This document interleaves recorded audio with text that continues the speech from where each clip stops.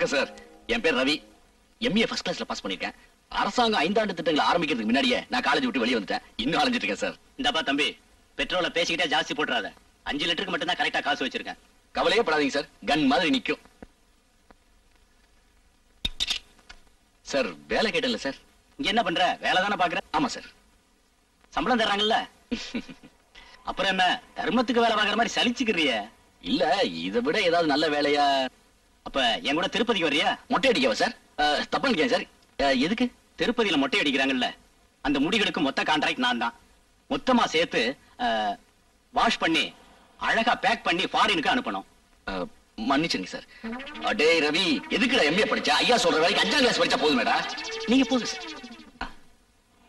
Next ஓ olden பத்து பத்து. ஆ பத்து பத்து. சார் மீட்டர் பாத்துக்கோங்க சார். சார் என் பேர் ரவி. நான் ஒரு எம்ஏ பட்டதாரி. ஆனா பாருங்க நான் இந்த நாட்டோட அவமான சின்னம். ஜப்பான் மாதிரியோ அமெரிக்கா மாதிரியோ நம்ம நாடு முன்னேறாத காரணம் நீதானே? ஆ, இல்ல சார். என்ன மாதிரி பட்டதாரிங்களா இப்படி பங்க்ல வேலை பாக்குறாங்களா அதை சொல்ல வந்தேன். சார் எனக்கு ஒரு நல்ல வேலையா ஏற்பாடு பண்ணி தரீங்களா? எனக்கு சிபாரிசு பண்றது யாருமே இல்ல சார். அதான் ரொம்ப கஷ்டப்படுறேன். நீ பாப்புலர் ஆயிட்டா. உனக்கு எதுக்கு சிவாரிசு எப்படி சார் பாப்புலர் ஆகுது? வேலையில்லா திண்டாட்டம் ஒழிகன்னு சொல்லி பெட்ரோல் பங்க்கு தீ வச்சு கொளுத்து மறுநாளே எல்லா பேப்பர்லயும் போட்டோ தான். அப்புறம் வாழ்க்கை வரலாறு எல்லாம் ஊருக்கே தெரியும். அப்புறம் எதுக்கு சிபாரிசு? ம். அம்மா இவரா? பார்ட்டி சிக்கலான பார்ட்டி தான். ஐயா உங்க ஐடியாவுக்கு கோடி கும்பிடு. நானே வேலையை தெரிக்கிறேன் இடத்த காலி பண்ணுங்க. வர்றதெல்லாம் வம்பான பார்ட்டியா வருது? இன்னைக்கு யார் முகத்துல முடிச்சானோ தெரியல. சார் வணக்கம் சார். என் பேரு உன் பேர் ரவி. எம்ஏ படிச்சிருக்க ஃபர்ஸ்ட் கிளாஸ்ல பாஸ் பண்ணிருக்க வேலை வேணும் உங்களுக்கு எப்படி சார் தெரியும்? இந்த மூணு மாசமா தினம் உன் புலம்புல கேட்டு தானே இருக்கேன் நாளைக்கு இந்த பங்க் பக்கமே வர மாட்டேன் ஆ? போடா.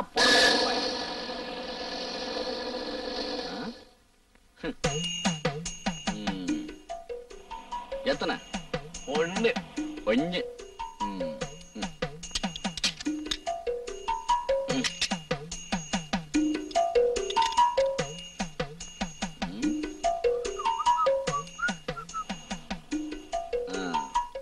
தம்பி எல்லாருகிட்டயும் வேலை கேட்டியே.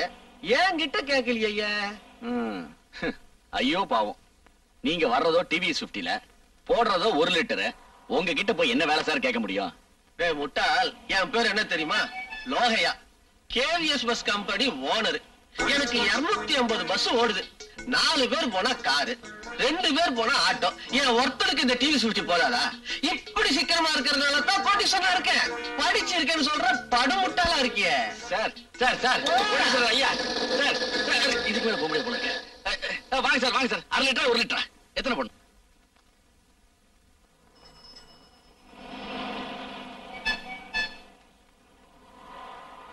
தம்பி காஞ்சிபுரத்துக்கு எந்த பஸ்ஸுப்பா போகுது? தெரியாதுக்கா.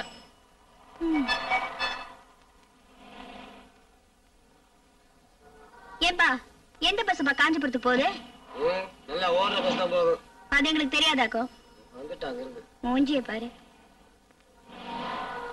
ஏங்க எந்த பஸ்ஸுங்க காஞ்சிபுரத்துக்கு போகுது? எந்த காஞ்சிபுரம்? காஞ்சிபுரம் தெரியாது ஏடா சும்மா போமா சும்மா இருப்பா. காஞ்சிபுரத்துக்கு? சும்மா இருமா. கேட்டா லுள்ளுன்னு விடுங்க நாய்ங்க.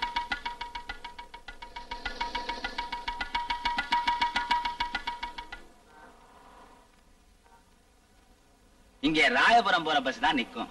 காஞ்சிபுரம் போகணும்னா நீ வெளியூர் பஸ் ஸ்டாண்ட் தான் போகணும். யோ நானே வெளியூர்ல இருந்து தான் வரேன். இன்னும் எங்கேயா வெளியூர் போறது? உன்னை பார்த்தாலே தெரியுது வெளியூர்னு. நீ சொல்லவே வேண்டாம். ஆமா காஞ்சிபுரத்துக்கு எதுக்காக போற? உங்க சொந்தக்காரங்களை பாக்குறதுக்காகவா காஞ்சிபுரத்துல எங்க எங்க சொந்தக்காரங்க இருக்காங்க? காஞ்சிபுரத்துக்கு போனா காலாட்டிக்கிட்டே சாப்பிடலான்னு சொன்னாங்க. அப்படியா சமாச்சாரம்? அதுக்கு எதுக்காக காஞ்சிபுரத்துக்கு போகணும்? இங்க காலாட்டிக்கிட்டே சாப்பிடலாமே. இந்த பாரியா ஒண்ணு மட்டும் தெரிஞ்சுக்க. எனக்கு சமைக்க தெரியாது வீட்டு வேலை செய்ய தெரியாது. நீ எங்கேயாவது கூட்டிட்டு போய் வீட்டு வேலை அது இதுன்னு சொன்னேன்னு வச்சுக்க எனக்கு கெட்ட கோவம் வந்துரும். வேலை செய்ய பிடிக்காம தானே வீட்டை விட்டு ஓடி வந்துட்டு நீ எந்த வேலையும் செய்ய வேண்டாம்.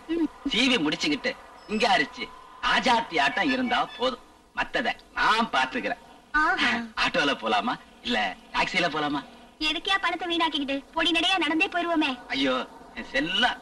நடந்தா காலு நோவுமே. ஆட்டோவிலேயே போயிடலாம் ஆரம்பம் தான் ஆட்டோ. அப்புறமேல டயோட்டோ. அப்படியா? ஆமா ஆமா ஆட்டோ. ஆமா வரலட்சுமி இங்க வந்து பாரு. புதுசா ஒரு லட்சுமிய கூட்டிட்டு வந்திருக்கேன்.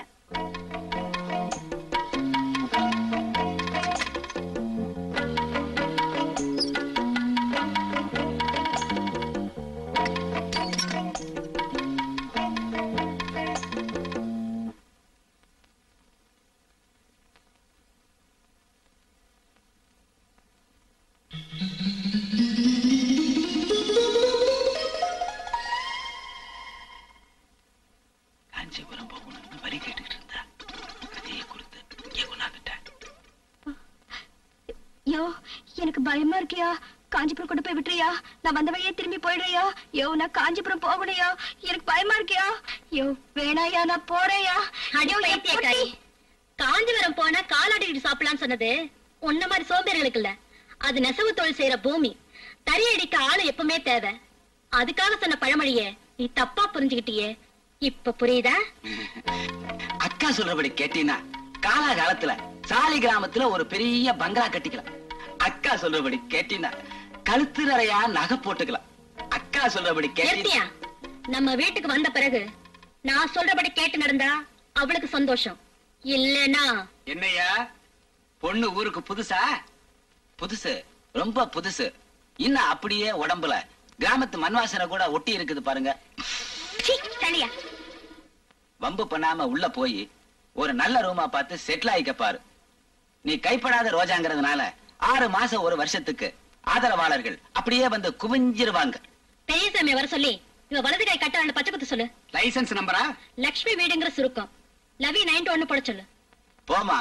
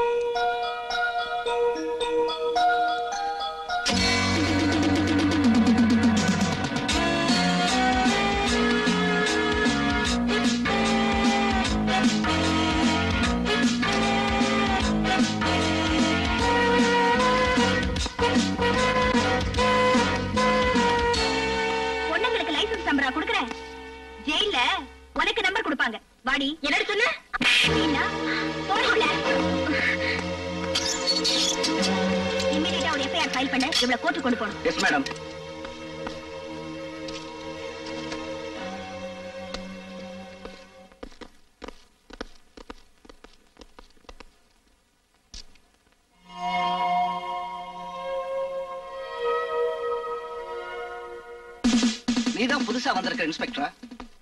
போலீஸ் ஸ்டேஷன் ரேஞ்சு தெரிஞ்சா மட்டும் போதாதுமா? மனுஷங்க ரேஞ்சு தெரியணும். தட் இஸ் இம்பார்ட்டன்ட் அந்தமா வெளிய அனுப்பு.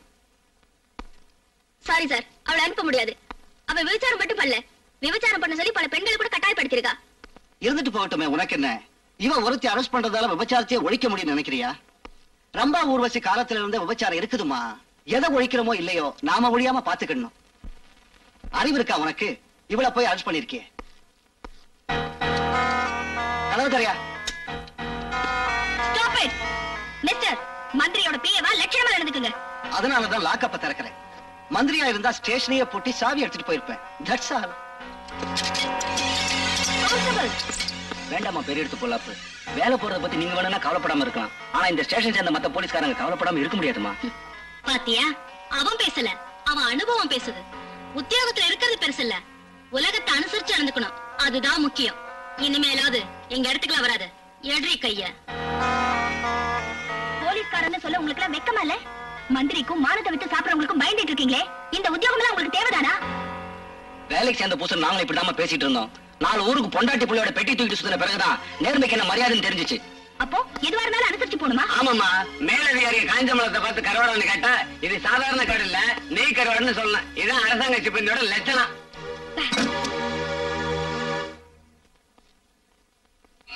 முடிவா ஏழைங்க மேல வரி போடக்கூடாது. பணக்காரங்க மேலதான் வரி போடணும்னு ஃபைனலா சொல்லிட்டேன் சார். அத விடியா அதத்தான் சட்டமன்றத்துல பேச போறோம்ல. யாரா நீ யார் யாரு? பையில கையெழுத்து போட மாட்டேன்னு தகராறு பண்ணாரு அந்த ஐஏஎஸ் ஆபீசர் சுத்த கூடு கட்டவனா இருக்கே படிச்சவனை நிக்க வச்சு பேசலாமா? கூட்டு போய் கூட்டு கொடுக்க வேண்டியதானே? சார் பரவாயில்ல சார். ஐயா ஃபைல்ல கையெழுத்து போட்டு மூவ் பண்ண சொன்னேன். முடியாண்டியாமே இல்ல சார் அது எங்க டிபார்ட்மெண்ட் இல்ல சார். அதுவும் இல்லாம இது சட்டவிரோதமான செயல் இல்லைங்களா? அந்த ஈரவங்க எனக்கு தெரியும்.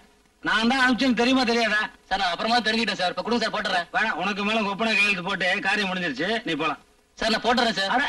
உன் பிரின்சிபல் நல்ல பிரின்சிபல்யா சட்டவிரோதமான காரியத்தில் நீ கையெழுத்த போடக்கூடாது இல்ல சார் போட்டுறேன் சார். என்னைய பைத்தியக்காரன் சார், நான் போடுறேன் சார். அட, வேணாயா போடுறேன் சார். சும்மா இரு. போறேன். இவனை கூட்டு போங்க. இனிமேல் இவன் கையெழுத்தே போடக்கூடாது. ஏற்பாடு பண்ணுங்க. போட்டுறேன்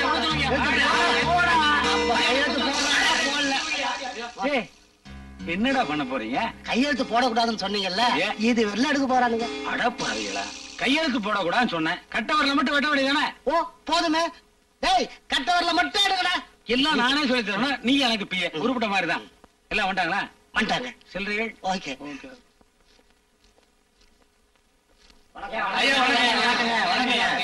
வணக்கங்க. இவரு சோப்பு கம்பெனி முதலாளி. சோப்பு கம்பெனி முதலாளியா? சாலையை துவைச்சு போட மாட்டியா? அவர் சோப்பு அவர் யூஸ் பண்றதில்ல. மூலதனம் பத்து கோடி. லாபம் எக்கச்சக்கம். யாரு சிவப்பு சட்டை. இவர் பஸ் கம்பெனி முதலாளி. எண்பத்தி நாலு பஸ் ஓடுது. பல கோடி லாபம் வந்துகிட்டே இருக்கு. ஓஹோ. ஐயா வர சொன்னதாக சொன்னாங்க. அதான் தொழிலதிபர் எல்லாம் கூட்டு வந்திருக்கேன். ஒண்ணும் இல்லையா நாடே ரொம்ப கஷ்டமான நிலையில இருக்கு. கஜானாவே காலி ஆயிடுச்சு பட்ஜெட் வேற போடணும். பற்றாக்குறை இல்லாம என்னைக்கு பட்ஜெட் போட்டிருக்கோம் ஏற்கனவே ஏழைங்க மேல கண்ணா பின்னான்னு வரி போட்டாச்சு. இன்னும் போட்டோம் வையே அந்த நாட்டுல ஏதோ புரட்சி நடந்ததாமே. ரத்த புரட்சி. எந்த நாட்டுல நடந்தது? அது பிரெஞ்சு நாட்டுல சார் அந்த மாதிரி புரட்சி பண்ணிட்டீங்கன்னா நீங்க பண்ண மாட்டீங்கய்யா எனக்கு தெரியாதா? பணம் வந்தாலே சுகர் வந்துடும் சுகர் வந்தா டாக்டர் கிட்ட போறதுக்கே சரியா போயிடும் நீங்க எங்க புரட்சி பண்றது? இந்த வயித்தை வச்சுக்கிட்டு இவங்க எங்க புரட்சி பணக்காரன் எந்த நாட்டுல புரட்சி பண்ணிருக்கான் அதனாலதான் இந்த தடவை வரி பூரா பணக்கார மேல போறதா முடிவு என்னங்க பட்ஜெட்டே வேணாங்கிறீங்களா? அட முடி- முடிவு பண்ணுவோம் எதுக்கு அவசரப்படாதீங்க? என்ன கவனிங்க? இத பாருங்க. கூடுதலா நாங்க வரி போட்டா எண்பது கோடி நஷ்டம் வரும். எண்பது கோடி. நஷ்டம் வரக்கூடாதுன்னா ஆளுக்கு எண்பது லட்சம். பதினோரு கோடி செட்டப் பண்ணணும். ஓகேவா பதினோரு கோடியா? கொஞ்சம் ஜாஸ்தியா இருக்க. பதினோரு கோடி ஜாஸ்தியா. நீங்க சரிப்பட்டு வர மாட்டீங்க. ஏங்க கூட பிறந்த அண்ணன் தம்பி மாதிரி பழகிட்டமேனு கூப்பிட்டு அனுப்பிச்சா ஆளாளுக்கு சிலுத்துக்கிறீங்களே நீங்க சரிப்பட்டே வர மாட்டீங்க. உங்களுக்கு சட்டசபையில வச்சுக்கிறேன். என்ன சார் உடனே கோச்சிக்கிட்டீங்களே சார்? நீங்க கேட்டு நாங்க எப்ப சார் இல்லைன்னு சொல்லியிருக்கோம். எல்லாரும் உடனே சம்மதம் சொல்லுங்க சார். சம்மதம் சொல்லுங்க சார். எல்லாம் ஒத்துக்கிட்டாங்க. ஆளுக்கு ஒரு பிரீஃப் கேஸ்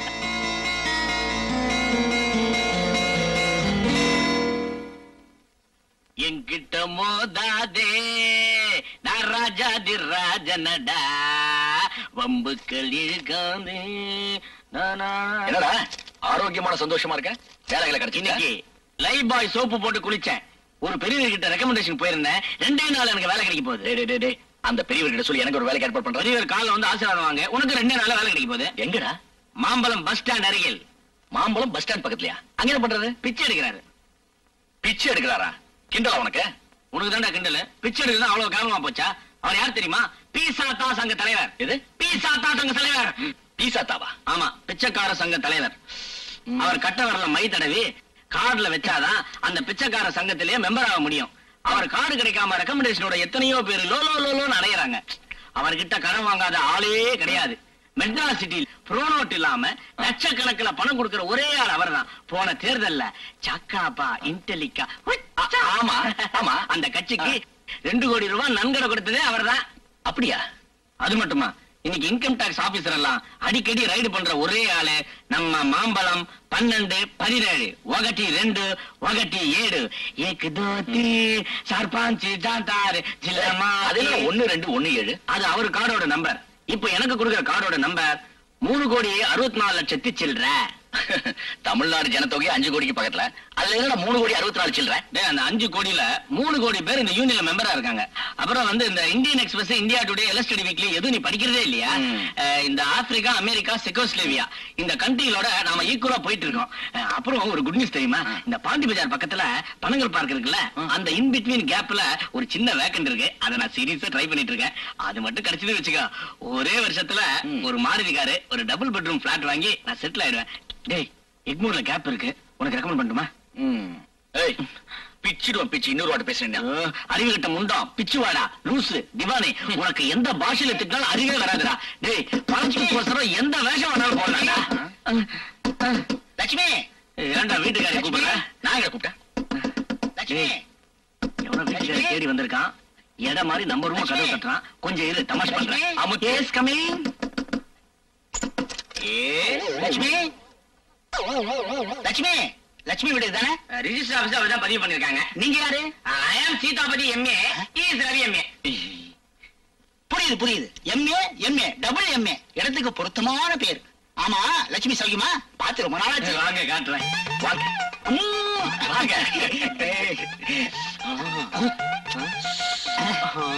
என்ன அது? என்ன இது? மோகினி விலாஸ் சிட்டுக்குருவிலேயே சாப்பிட்றியா? மோகினி விலாஸ் சிட்டுக்குருவி லேகியமா அது எதுக்கு சாப்பிடுறது? இளமை ஊஞ்சலாட. ஐயோ. ஏன் சாப்பிட்டதே இல்லையா? இல்லையே. டேய் சும்மாவே ரேப்பிங் கேஸ்ல மாட்டிக்கிடுவோமான்னு பயமா இருக்கு. இந்த சிட்டுக்குருவில ஏன் சாப்பிட்டா வச்சுக்கோ. ஜவுளி கடையில இருக்கிற பொம்மையெல்லாம் அந்த ஃபேமஸ் கம்பெனி முதலாளியே நான் தான். ஆமா லட்சுமி எங்க? லக்ஷ்மியா பாத்ரூம்ல சோப்பு போட்டு குளிச்சிட்டு இருக்கா. இப்ப வந்த உடனே இந்த அல்வாவை அப்படியே அமைக்கிடுவா. ஆமா எக்ஸல் சோப் போட்டு தானே குளிச்சிட்டு இருக்கு? நீங்களும் எக்ஸல் சோப் போட்டு தான் குளிப்பீங்களா? ஏன்னா அந்த சோப்புல தான் வியாதியை போக்கக்கூடிய சக்தியே இருக்கு. ஓஹோ எக்ஸல் சோப் போட்டு குளிச்சிட்டு சிட்டுக்குருவியிலேயே சாப்பிட்டுட்டு லட்சுமியோட சடுகுடு விளையாட வந்தீங்களா? கண்டுபிடிச்சுதான். பத்திரிக்கைக்காரங்க கிட்ட சொல்லி உங்க மானத்தை பாக்குறேன் பாருங்க. என்னங்க இது? பத்திரிக்கை பேர சொல்லி மானத்தையே வாங்குறீங்க? நான் குழந்தை குட்டிக்காரன். என் பத்தி எல்லாம் எடுத்தல. பேரம் பேத்தி இருந்தும் இப்படியா? கொஞ்சம் சபலம் தான். என்ன பெரிய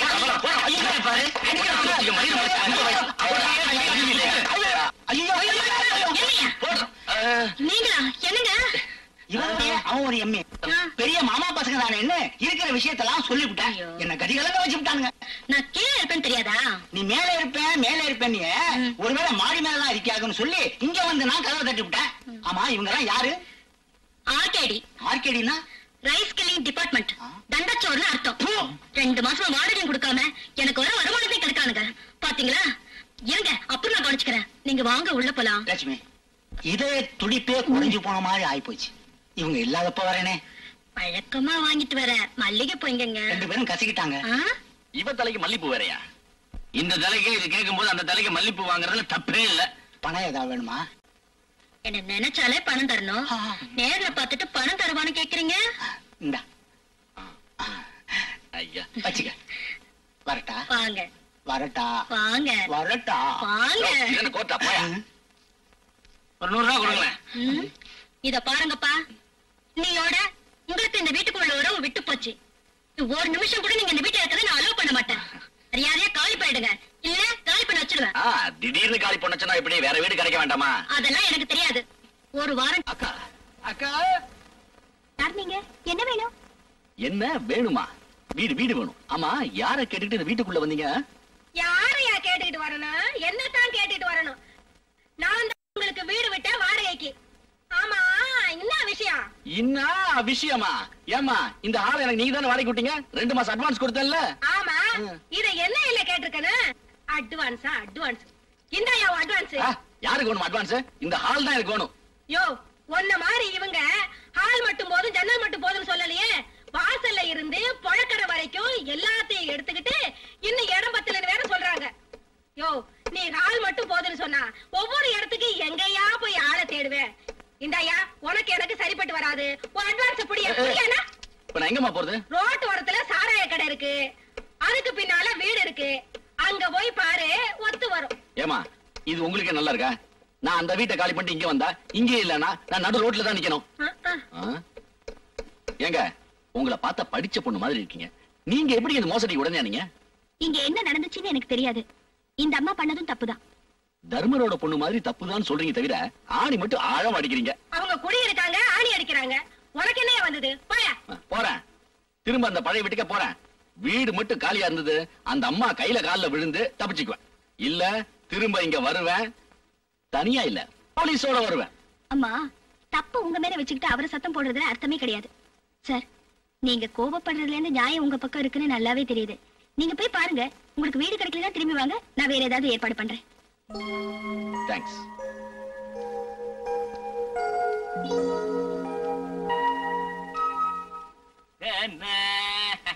தொழில் சுத்தம். ஹவுஸ் ஃபுல் நம்ம ஐட்டங்களை பத்தி உங்களுக்கு தெரியாது. எப்படி கோஆபரேஷன் திருப்தி. சூப்பர் கோஆபரேஷன் வராங்க அடுத்த வாட்டி கண்டிப்பா வரணும். அலையறீங்க. டோக்கன் பிரகாரம் ஒவ்வொருத்தரா வாங்க. நம்பர் ஒன்பது யாரு? என்கிட்ட இருக்க ஒன்பது பார்த்தாலே தெரியுதுங்க வா. கவலைப்படாதீங்க சீக்கிரம் வெளியே வந்துருவாரு. அவர் டோக்கன் நம்பர் அப்படி.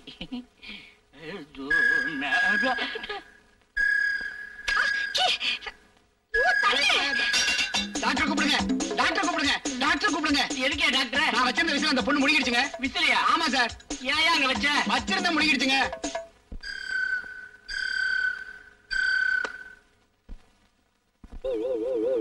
ரவி!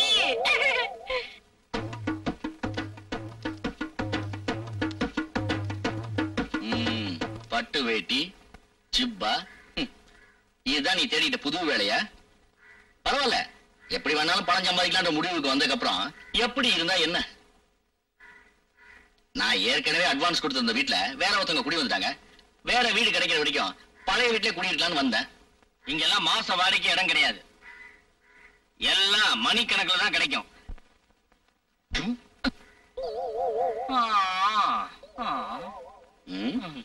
ஏண்டா இதெல்லாம் நீயே சொந்தத்துல வாங்கி போட்டுட்டு இல்ல வந்தவங்க? இந்த தொழிலுக்கு தான் யூனிஃபார்ம் பட்டு ஜிப்பா பட்டு வேஷ்டி பட்டு அங்கவஸ்திரம். டைரி உள்ள இருக்கு. டெய்லி முந்நூறு ரூபாய் வருமானம். மாசம் மொத்தம் ஒன்பதனாயிரம் ரூபாய் எம்ஏ படிச்சவங்களுக்கு கிடைக்குமா? ஏன் சார்? நீ கூட கௌரவம் பார்க்காம இந்த வேலையை செய்ய. இப்ப நாட்டுல இந்த தொழிலுக்கு தான் மரியாதை ஜாஸ்தி. ஃபீல் பண்றான் பார். ஆறுமுகம் அப்படியே அடிச்சனா குப்பர் அடிச்சு விழுவோம். நடைய. ரவி ரவி. ஏ, அடிக்கடி வந்து போ. இங்க பாரு. காசு இல்லாலும் பரவாயில்ல. வந்து சந்தோஷமா இருந்துட்டு போனோம். அப்புறம் என்ன பண்ற? உனக்கு முடியல வச்சுக்கோ. நீ எங்க தங்கி இருக்கேன்னு சொல்லு நான் அங்கேயே ஆளுங்களை அனுப்பிச்சிடறேன். நீயும் அங்க வர வேண்டாம். நானும் இங்க வர வேண்டாம். எனக்கு ஒரு அசிஸ்டன்ட் தேவை. நாளைக்கே வரியா? வரேன் மாமா. ரீதியா பாருங்க. நாயர் நாயர் இவளுக்கு பதினாறு வயதில் ஒரு வல்லிய குட்டி வந்தாக்கும். யோ இருக்கிற கேஸ்ல எதையாவது ஒண்ணு முடிக்கணும்னா இவர் காலம் மட்டும் இல்ல எல்லாத்தையுமே அமைக்கத்தான் ஆகணும். அமுக்கியா? தம்பி நான் சொல்றத நல்லா கேட்டுக்க. இன்னைக்கு நாடு இருக்கிற நிலைமையில. உனக்கு எங்க போனாலும் வேலை கிடைக்காது. அது எப்படி அவ்வளவு கரெக்டா சொல்றீங்க? தம்பி ரெண்டரை ஏக்கர்ல பெரிய கட்டடம். மணி அடிச்சு மணி அடிச்சு சோறு போடுவாங்க. நீ எந்த வேலையுமே பார்க்க வேண்டியது இல்ல ஆமாப்பா இன்னொரு நியூஸ் கேள்விப்பட்டிருப்பியே. கலர் டெலிவிஷன்லாம் வைக்க போறாங்க. ஏன் அழுகுற நீங்க சுத்தி வளைச்சு பேசுறத பார்த்தா என்ன எங்கேயோ கொண்டு போறீங்க. மாங்குயில் கூயிடும் பூஞ்சோலை. உன்னை வரவேற்க காத்திருக்கு இந்த சிறைச்சாலை. மத்திய சிறைச்சாலை வேண்டாம். எதுக்காக பயப்படுற? எதுக்காக பயப்படுற? தம்பி பெரிய பெரிய மகாத்மா காந்தி போட்ட தலைவர்கள் எல்லாம் இந்த ஜெயில தான் இருந்திருக்கிறாங்க. அவர் மகாத்மா காந்திங்க. தம்பி ஏகப்பட்ட கேஸ் பெண்டிங்ல இருக்கு. தம்பி உன்னை கையெடுத்து கும்பிடுறேன். இந்த கேஸ ஒத்துக்கப்பா. இந்த பாவட்ட ஜென்மம் லேட் ஆகணும் லேட் ஆகாம ஒத்துக்கையா விட்டுருங்க. ஒத்துக்கையா விட்டுருங்க.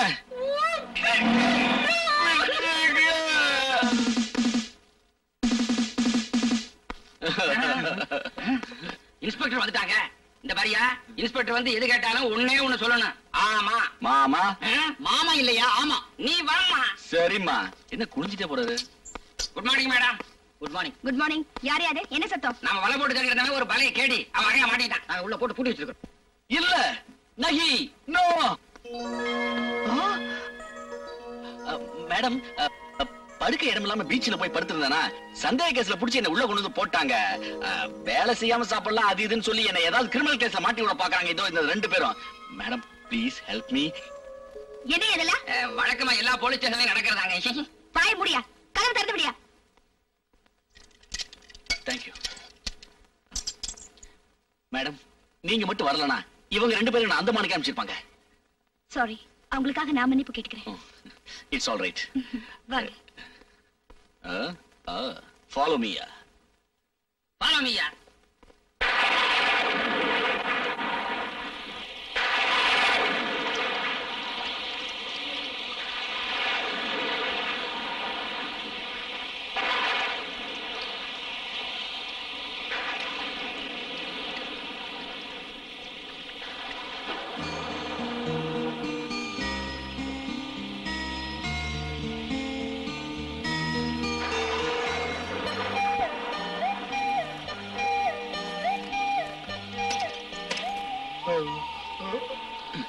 இன்னும் தூங்கலீங்களா இல்ல. ஏன் தூக்கம் வரல தூங்கல. பணம் இருக்கிறவங்களுக்கு தான் பணத்தை பாதுகாக்கணுன்ற கவலையில தூக்கமே வராதுன்னு சொல்லுவாங்க. உங்களுக்கு என்ன கவலை? பாதுகாக்கணுங்கிற கவலை.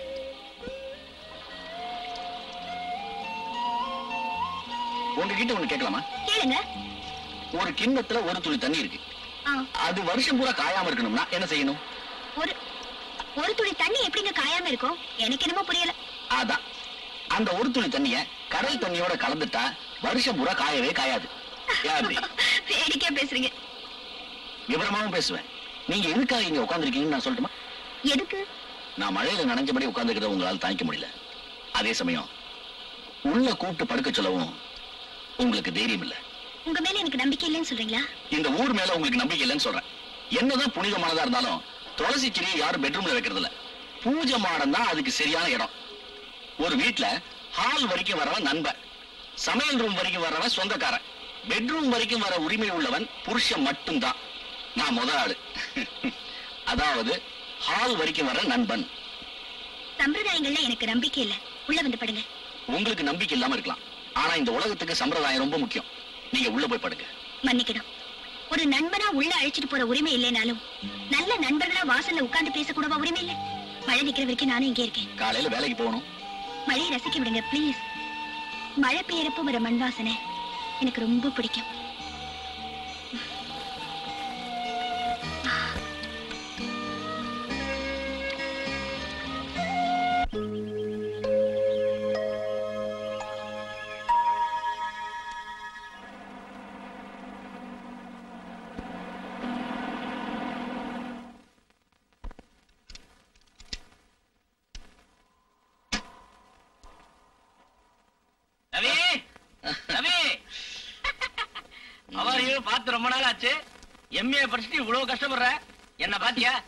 ரெண்டு எம்ஏ வாங்கிட்டு எவ்வளவு சந்தோஷமா இருக்கேன்? லட்சோ ஆயில் பூந்து போச்சு ஊத்திடுமா என்னப்பா ஆயில் வரையும் ஏறி போச்சா?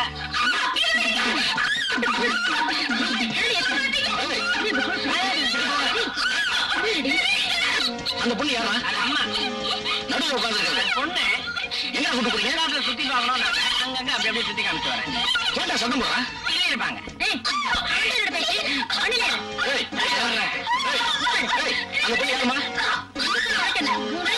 அந்த பொண்ணு யாரு என்னன்னு தெரியாம நான் இங்கிருந்து போக விட மாட்டேன்.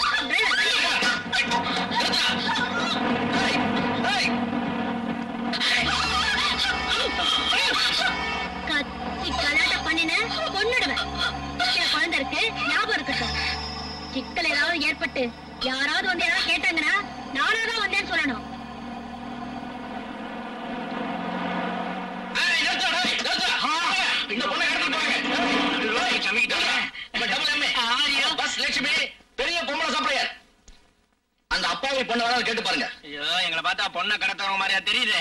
ஏய் உனக்கு சந்தேகம் வந்து பொண்ணையே கேட்டு பாரு. என்ன இவன் பைத்தியம் மாதிரி கத்தா? என்ன யாரும் கடத்திட்டு போல நான் அக்கா கூட படிதாண்டிய பத்தி நீ படம் பார்க்க போறேன் நீ தானமா காப்பாத்துங்க காப்பாத்துங்க சத்தம் போட்ட. ஜிப்பா போட்ட மாமான்னு முடிவு பண்ணியா ஜிப்பால பல போங்க.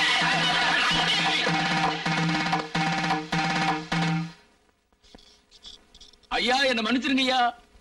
மன்னிச்சிருங்க. ஐயா என்ன மன்னிச்சிருங்க ஐயா.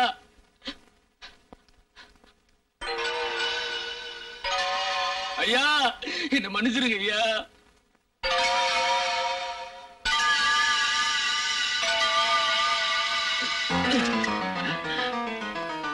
இதுக்கு தான் என்ன மன்னிச்சிருக்கேன்னு சொன்னேன். கிட்ட வராதீங்க. மரியாதை கொடுத்துரு. அப்படியா? வராதீங்க. சுட்டுருவேன் வராதீங்க. வராதீங்க. வராதீங்க. வந்தீங்க. சுட்டுருவேன் யோ! என்ன வேடிக்கை பார்த்துட்டு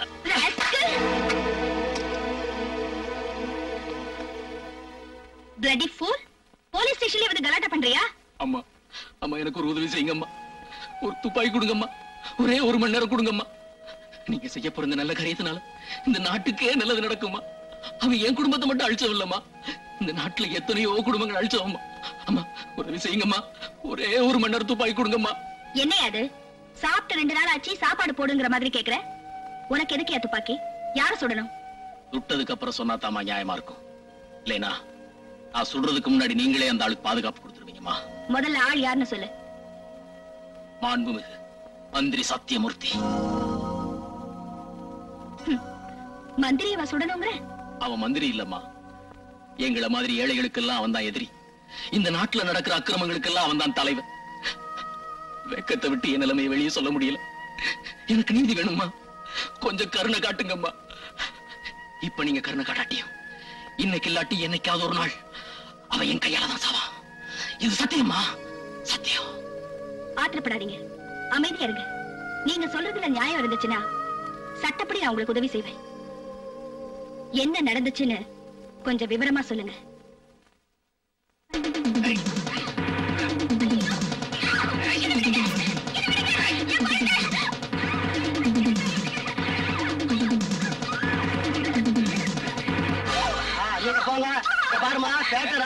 மாட்டிக்கிட்ட பயப்படாத மினிஸ்டர் கிட்ட மாட்டி இருக்கிற ஜாலியா இரு.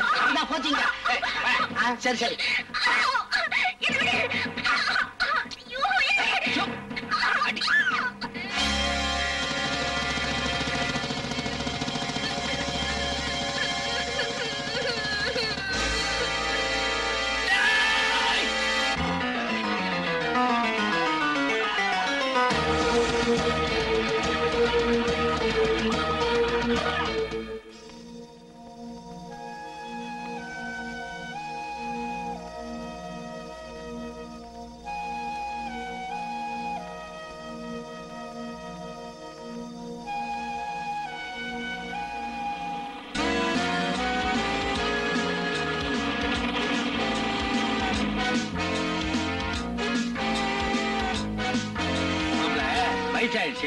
ட்ரெஸ்ஸாவது கரெக்ட் பண்ண வேணாமா இருக்கணும் இருக்கணும் அது சரி பார்ட்டி வரும்போது ஓவரா போட்டு தூங்கிட போறீங்க.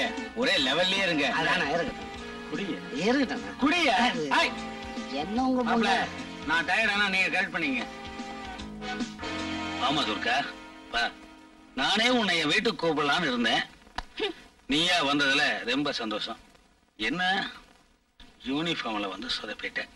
புடவையை கட்டிட்டு வந்திருந்தா பெரிய விருந்தே வச்சிருப்பேன். என்ன சாப்பிடுற? சீ. நான் விருந்துக்கு வரல. விசாரணைக்கு வந்திருக்கேன். எனக்கு சில விவரங்கள் தெரியணும். இந்த பாரு கண்ணு இந்த விவரம் விளக்கண்ணு எல்லாம் என் வாயால சொல்லி பழக்கமே கிடையாது.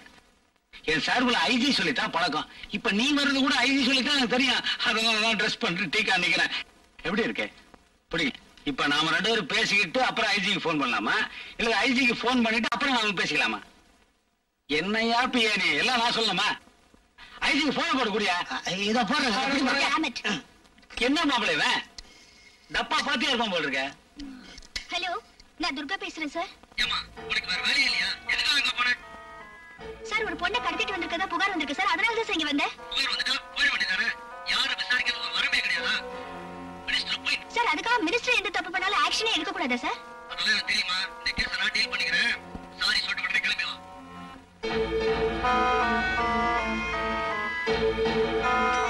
துர்கா நில்லுமா? அட நில்லுமா? இவ்வளவு தூரம் வந்துட்டு வீட்டை சுத்தி பார்க்காம போனா எப்படிமா ராஜஸ்தான் ஸ்டைல்ல பிரமாதமா ஒரு பெட்ரூம் கட்டியிருக்கேன். உன் காலடி அங்க வச்சீங்கன்னா வாங்கின கட்டலுக்கு ஒரு மரியாதையா இருக்கும். நாம ரெண்டு பேரும் தாம்மா. சேர்ந்துதான். இரு உன்னை அப்புறமா கவனிச்சுக்கிறேன். வா வரும்போது போன் பண்ணிட்டு வா. இந்த மாதிரி இடைஞ்சல் இல்லாம பாத்துக்கிறேன். என்னங்க இப்படி பேசிட்டு போறா? மாப்பிள இவளுக்கு தான் என் மேல கோவமே தவிர இந்த கழுத மேல கோவமே வரமாட்டேங்குதியா அடா அவ கிடக்குற விடுங்க. ரெண்டு பெக்கு அடிச்சிட்டு தனியா படுத்துக்குங்க. தனியா படுக்கிறதுக்கு எதுக்கியா தண்ணி?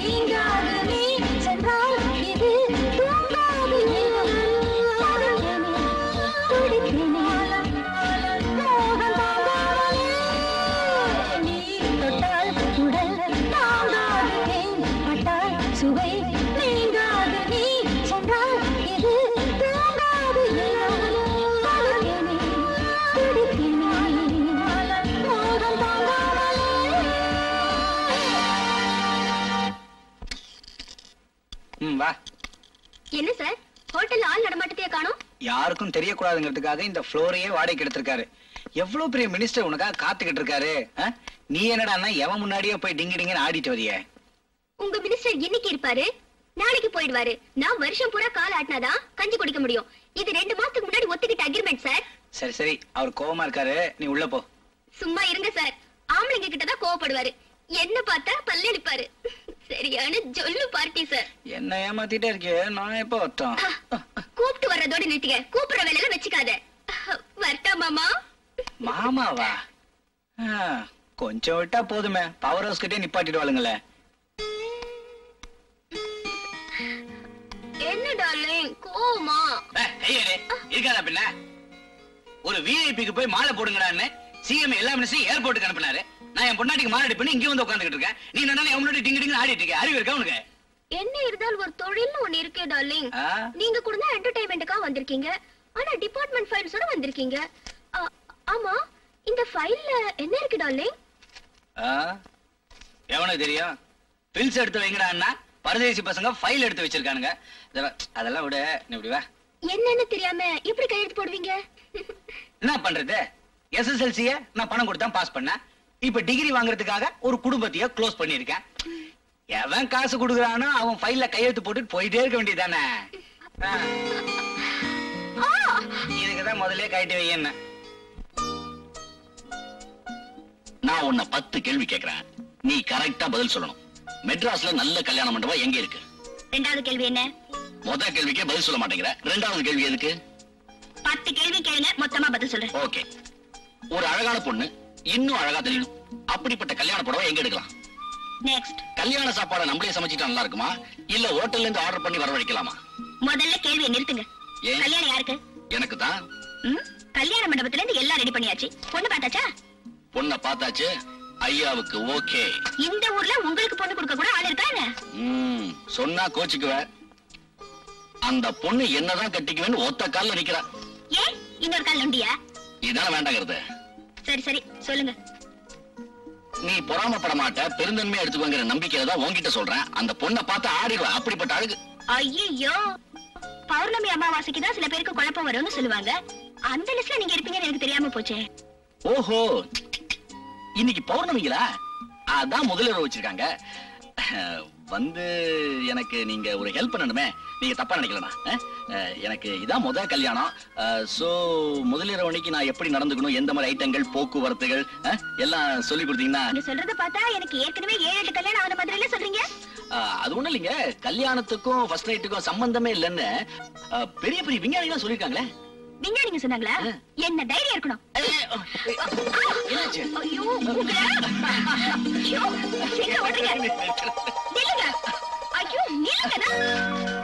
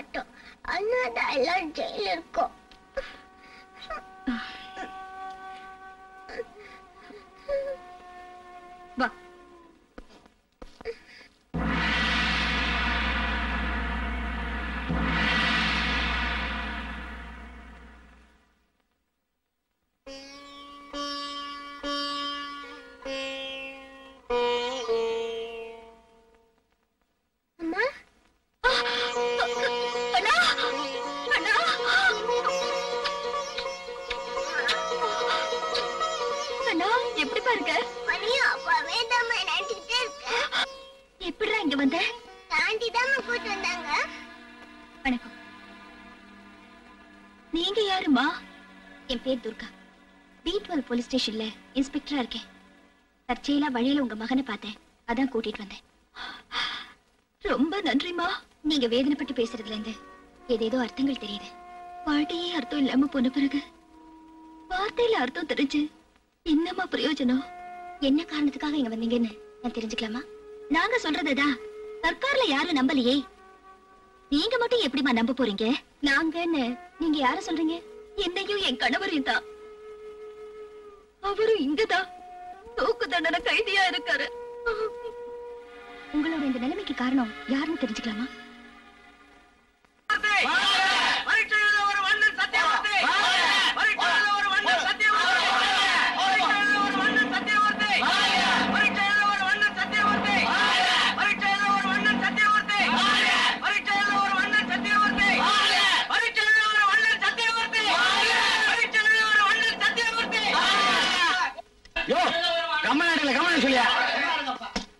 காதுங்காது வைக்கிற மாதிரி பரிசீலனை வந்தா கத்தி கலாட போறீங்களா யோ வாயா சை.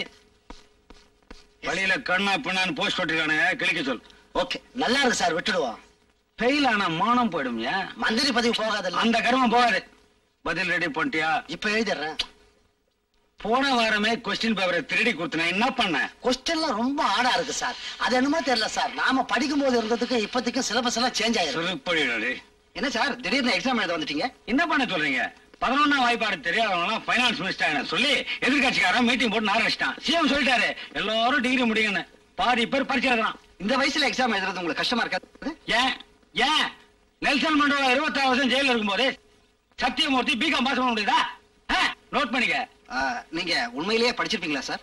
அப்ப நான் பிட் அடிக்கிறேனா என்ன பண்ணுறேனே சுதாங்கன் ஃப்ரம் ஜூனியர் விகடன் ஒரு மாதம் மீட்டிங் கேட்டேங்க நான் ஒன்னும் கேட்கல சார். டேய் எனக்கு படிச்சேன். சார் எனிவே நீங்க இந்த பரீட்சையில வெற்றி பெற வாழ்த்துக்கள். தேங்க்யூ வேணாம். ஏன் சார் ஏனா ஆ, எலெக்ஷன் முடிஞ்சோன்னு என்ன சொன்ன நீ? நீங்க தான் சிஎம் ஆனா ராசியில அவன் அனுப்பவில்லை முன்னாடி சைடுல எல்லாம் நல்லா படிச்ச பசங்க உட்கார வையா? ஆள் டிக்கெட் படி தான் சார் உட்கார வைப்பாங்க. அதான் எஜுகேஷன் ரூல் கல்வி அமைச்சர் பரிச்சை எழுதிட்டானா? அவர் முதல்ல டிகிரி வாங்கிட்டாரு. அவன் வேற கோஷ்டிடா எனக்கு குழப்பம் பண்ணிட்டே இருக்கா. அவனை கவனிக்கிறானா? வணக்கம் சார் அட உட்காருங்கப்பா. நானும் உங்களை மாதிரி எழுத வந்திருக்கேன். என்ன மரியாதை? யோ ம். நல்லா பரிச்சைய படிக்கவே இல்ல சார். படிக்காம பரிச்சை எழுத வந்திருக்கியே. உருப்படியா நீ மூதேவி? படிக்கவே இன்ட்ரெஸ்ட் இல்ல தலைவா. அப்படி ஏன்டா இங்க வந்த காலேஜுக்கு போனாதான் கல்யாணம்னு சொல்லிட்டாங்க. கல்யாணத்துக்கோசம் தான் இந்த காலேஜுக்கே வந்து போயிட்டு இருக்கேன். கல்யாணம் ஆகாதனால நைட்ல படுத்தா கெட்ட கெட்ட கனவா வருது தலைவா.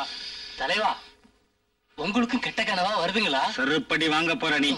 கனவு காங்கிற வயசாடா எனக்கு. பரதேசி. டேய் நீயாவது ஒழுங்கா போச்சியாடா. படிப்புக்கு நமக்கு என்ன சார் சம்பந்தம்? நானே உங்களை நம்பித்தான் சார் இங்க வந்திருக்கேன். கஞ்சாவா? திரும்படா. ஆய். நீங்க ஏன் சார் இங்க வந்திருக்கீங்க? மந்திரி எக்ஸாம் எழுத வந்திருக்காரு. பாதுகாப்புக்கு நிக்கிறேன். ஆஹா.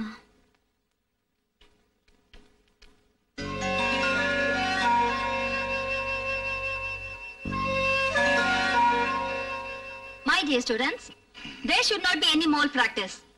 Strictly follow the rules. I wish you all success.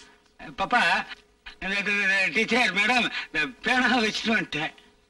ஏன் சார் பேனா எல்லாமே எதுக்கு எக்ஸாம் அதுக்கு நான் வேற? என்ன என் பிஏ சொன்னேன். டேய் பேனாவை கொடுங்கடா. ஏன்டா இம்சாப் பண்றீங்க? தேங்க்யூ டீச்சர்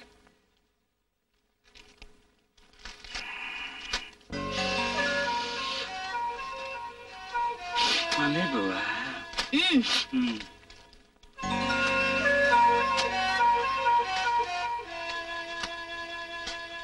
தலைவா எனக்கும் வாசம் வந்துருச்சு. செருப்பாலடி பாருது எழுதுனா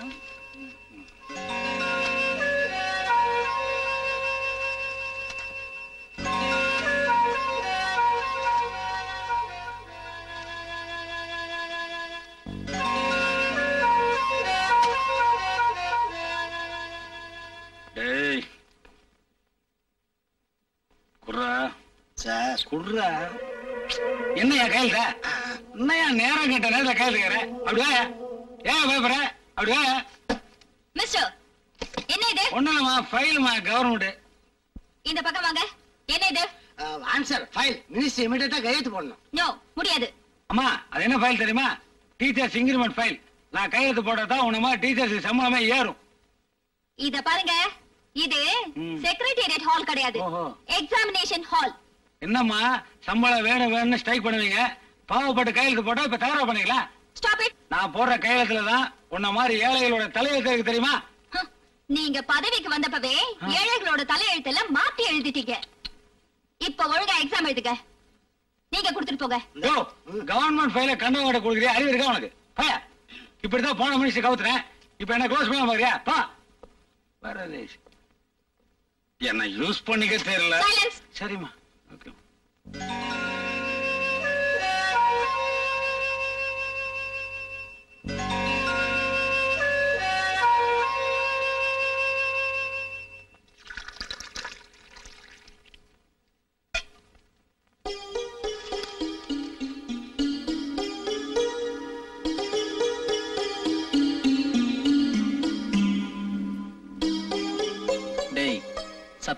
போய் இது அம்மா டேபிள்ல வச்சுட்டு போய் தூங்கணும். போ போ.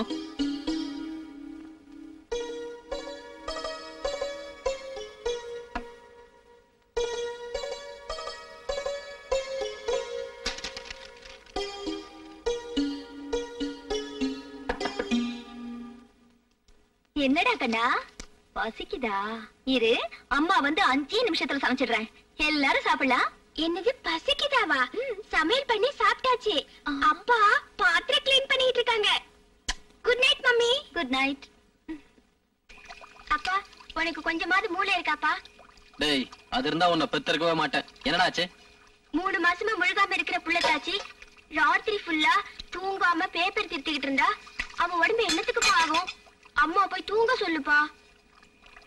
சரிங்க சார். போய் சொல்றேன் சார். போடா போய் தூங்கு. குட் நைட் டாட்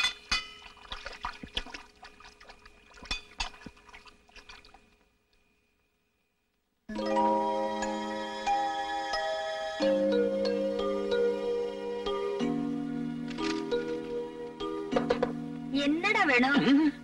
என்ன டாவா? ஐயோ நான் குழந்தைன்னு நினைச்சிட்டேங்க. சரிடி இதெல்லாம் எடுத்து வச்சுட்டு வந்து படுடி. வயித்து புள்ள தாச்சி இப்படி ராத்திரியும் பகலுமா வேலை செஞ்சா உடம்பு என்னத்துக்காகும்? எந்திரி வா! எனக்கு எத்தனையோ ஏழை பொண்ணுங்க இடுப்பு வலிக்கிற கடைசி நேரம் வரைக்கும் வயித்துல பிள்ளையையும் தலையில கல்லையும் சுமந்துட்டு வேலை செய்யறாங்க நான் உட்கார்ந்து பாக்குற இந்த வேலைக்கு ரொம்ப தான் கவலைப்படுறீங்களே. அது இல்லம்மா வந்து படுமா தூங்குமா உடம்புக்கு ரெஸ்ட் வேணும்ல? நான் அங்க வந்தா என்ன தூங்கவும் விட மாட்டீங்க ரெஸ்ட் எடுக்கவும் விட மாட்டீங்க. மரியாதையா போய் தூங்குங்க. என் செல்லம் இல்ல? ஆமா. முதல்ல பரீட்சை வர போறதுன்னு சொன்னேன். அப்புறம் பரீட்சை வந்துடுச்சுன்னு சொன்னேன். இப்போ பரீட்சை பேப்பர் திருத்த போறேன்னு சொல்றேன். அப்புறம் ரிசல்ட் வரட்டும் அப்புறம் அது எனக்கு நாளாச்சுடி. அதான்டி. ஆ, என்னடா வேணா வர்றேன். வரேன் என்னடா இது? மனுஷனோட பசி புரிய மாட்டேங்குது. அப்பா இப்பதானே என் பக்கத்துல உட்கார்ந்து பத்து இட்லி அஞ்சு தோசை சாப்பிட்டேன் அதுக்குள்ள என்னப்பா பசி டேய் இது வேறடா. அந்த பசிடா. இதெல்லாம் உனக்கு புரியாது. வாய முடிக்கிட்டு படுறா. படு.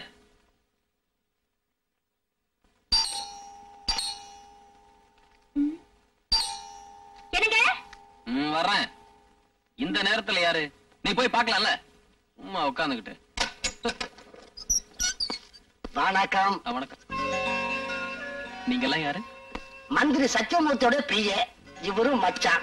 இவரு இன்னொரு தங்கச்சி புருஷன். இவரு இன்னொரு தங்கச்சியை கல்யாணம் பண்ணிக்கலாமான்னு யோசனை பண்ணிட்டு இருக்கிறார். என்ன வேணும்? இந்தாங்க. என்ன இது? பணம் தான் எதுக்காக? மந்திரிக்கு கொஞ்சம் மார்க் போடணும். அதுக்காகத்தான். மார்க் போட்டு பாஸ் பண்ண வச்சிடுங்க? உங்க மந்திரி எழுதிருக்கிற லட்சணத்துக்கு கொஞ்சம் மார்க் பத்தாது. ரொம்ப வேணும். பத்து மார்க் தானே எடுத்திருக்காரு. பத்து மார்க்கா ரொம்ப நல்லதா போச்சு. நீங்க என்ன பண்றீங்க? கூட ஒரு சைபரை போட்டு நூறு ஆக்கிடுங்க. வெறும் சைபர் தான். முட்டை முட்டை. ஃப்ராடு பண்ணி எங்களுக்கு பழக்கம் இல்ல சார் வெளியில போங்க. அதான் வீட பார்த்தாவே தெரியுது. ஃப்ராடு மைண்ட் இருந்தா போதாது. ஃப்ராடு மைண்ட் வேணும். உலக மகா ஃப்ராட நாங்க கத்து கொடுக்கறோம். மிஸ்டர் மரியாதையா வெளியே போங்க. பொறுக்கித்தனமா பிஹேவ் பண்ணா போலீஸுக்கு ஃபோன் பண்ணுவேன்? என்ன? போலீஸா? போலீஸ் என்ன மந்திரியோட பெருசா? மந்திரி அனுப்பிச்சிருக்காரியா மந்திரி? நான்சென்ஸ் நீங்க எவ்வளவு திட்டினாலும் கோவப்பட மாட்டோம். மந்திரி வரும்போது சொல்லி அமைச்சார். டேய் அவங்க எவ்வளவு கோவப்பட்டாலும் திட்டினாலும் நீங்க பொறுமையா இருக்கணும்னு. ஏன்னா நீங்க பிரம்மா மாதிரி. பிரம்மா மனிதர்களுடைய தலையெழுத்து எழுதுறான். நீங்க மாணவர்களுடைய தலையெழுத்து எழுதுறீங்க. ஆஸ் ஏ காட் பிரம்மா என்னமோ எங்க மந்திரியுடைய தலையெழுத்த நல்லா தான் எழுதியிருக்கிறான். ஆனா மாணவனா உங்ககிட்ட மாட்டிக்கிட்டதுனால அவர் தவிக்கிறார். அதனால நான் சொன்ன அந்த முட்டைய போட்டு அவரை பாஸ் பண்ணி வச்சிடுங்க. உனக்கு ப்ரமோஷன் வேணுமா? பிரின்சிபால் ஆகணுமா? வைஸ் சான்சலர் ஆகணுமா? எந்த யூனிவர்சிட்டி எல்லாம் உன் சாய்ஸ் தான். ஆனா எங்க மந்திரி பாஸ் ஆகணும். டேய் செருப்படி வாங்காம மரியாதையா வெளியே போங்கடா நாய்ங்களா? நாங்க நாயங்க தான். மந்திரி பொறுமையா போய் வாலாட்டிட்டு வாங்கடான்னாரு. நாங்க வாலாட்டிக்கிட்டு இருக்கோம். இப்ப இங்க நடந்ததை போய் அவர்கிட்ட சொன்னா ஆத்திரப்பட்டு போய் கடிச்சிட்டு வாங்கடான்னு சொல்லுவாரு. அப்புறம் கடிப்போம். நீ கோவப்படக்கூடாது. என்ன மிரட்டுறியா? அதையும் பார்க்கலாம். போட வெளியே.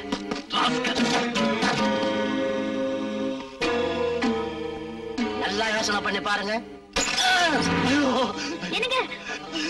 அப்பா ஐயோ. முட்டைய போட சொன்னா மூக்க உடைச்சிட்ட மூக்க அறுத்ததுனால தான் ஒரு ராமாயணமே நடந்தது. இங்க ஒரு ராமாயணம் நடக்க போகுது. ஐயோ பிடிங்கடா.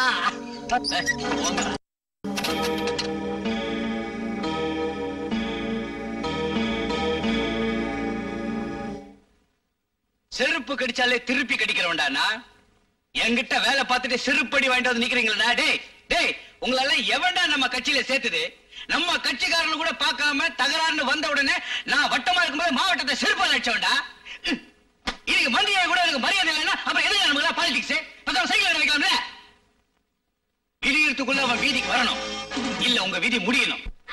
சிலந்தி பின்னின மலைக்குள்ள சின்ன பூச்சிங்க சிக்கிக்குமே. அப்படி ஆயிருச்சுமா என் குடும்பம்? எங்களை நடு தெருவுக்கு கொண்டு வந்துட்டாமா?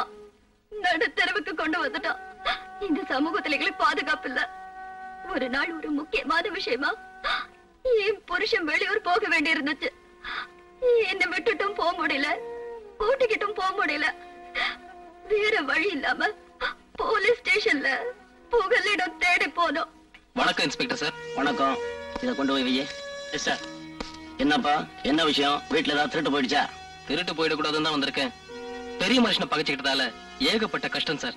இந்த ஏரியாவுல பெரிய மனுஷன் ரெண்டு பேர் தான் ஒருத்தன் கேடி ஆறுமுகம் இன்னொருத்தன் தீக்கண்ணன் தான். ஒருத்தன் எம்எல்ஏ ஆயிட்டான் அடுத்தவன் எம்பி ஆயிட்டான். உனக்கு பிரச்சனையா இருக்கிற பெரிய மனுஷன் யாரு? மந்திரி சத்தியமூர்த்தி. என்ன சார் பயந்துட்டீங்களா? உன் பிரச்சனை என்னன்னு சொல்லு. மந்திரி சத்தியமூர்த்தியை பகைச்சிட்டதுனால நாங்க எல்லாரும் நடுத்தரவு நிக்கிறோம். எனக்கு செங்கல்பட்டுல ஒரு வேலை இருக்கு. அர்ஜென்ட்டா போகணும். இவங்களை தனியா விட்டு போறதுக்கு எனக்கு ரொம்ப பயமா இருக்கு. நான் திரும்பி வர வரைக்கும் இவங்களை தயவு செஞ்சு லாக்அப்ல வச்சிருங்க சார் என்னது? லாக்கப்லயா என்ன பண்றது சார் லாக்அப்ல இருக்க வேண்டிய பெரிய மனுஷங்கள்லாம் வெளியே இருக்காங்க. பாதுகாப்பை தேடி நாங்க இங்க வர வேண்டியதா இருக்கு. தயவு செஞ்சு உதவு பண்ணுங்க சார் இது என்ன மங்க மாசத்திரம் நினைச்சியா? போலீஸ் ஸ்டேஷனையா? Police station. அப்படி எல்லாம் சொல்லாதீங்க சார் உங்க காலை தொட்டு கும்பிடுறேன் சார் ப்ளீஸ் சார் சரி சரி. விட்டுட்டு போ. தேங்க்யூ சார்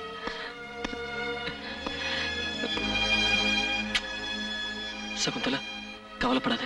தைரியமா நான் வர்றேன்.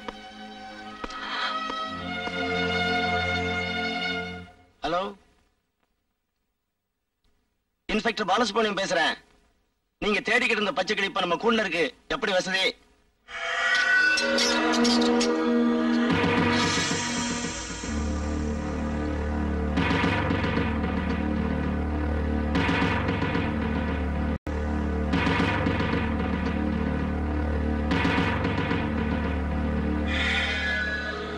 இதுதான் பாதுகாப்பான இடம்னு புருஷன் உன்னை எங்க வந்து விட்டானா? ஒரு பைத்தியக்கார பயமா? ஐயோ போலீஸ்காரங்க யாரும் இல்லையா? என்ன காப்பாத்துங்க சார். கத்துனா வந்துருவானா? அடவோடு இவன்லாம் என்ன மாதிரி பெரிய மனுஷனுக்கு பாரா போறவன்? உன்ன மாதிரி ஏழைக்கு எப்படி பாதுகாப்புக்கு வருவான்? இந்த பாருமா உன் புருஷன் லூசுங்கிற சரியா இருக்கு. உன்னை இங்க கொண்டு வந்து விட்டதுக்கு பேசாம என் பெட்டை கொண்டு வந்து ஏசிலே என்ஜாய் பண்ணிக்கலாம்ல? புழுக்கத்துல விட்டீங்களே. இதுதான் லாகப்பா. இதுக்கு முன்னாடி நான் வந்ததே இல்லம்மா. ரொம்ப சின்னதா இருக்க. ஜன்னலும் இல்ல ஃபேனும் இல்ல ஒரு கட்டிலும் இல்ல. அடுத்த சட்டமன்ற கூட்டத்திலேயாவது லாக்கப் பத்தி பேசணும். ஏன்னா முந்தி கைதி தான் வந்தான். இப்ப நாங்களே வர ஆரம்பிச்சிட்டுமே. கொஞ்சம் வசதி பண்ணணும். ஏசிகள் போட்டு என்ஜாய் பண்ணணும்.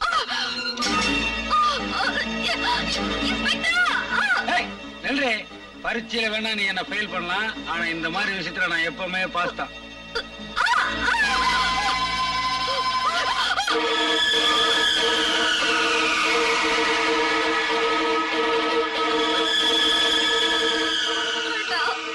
அறுத்துணும் பாத்தியா?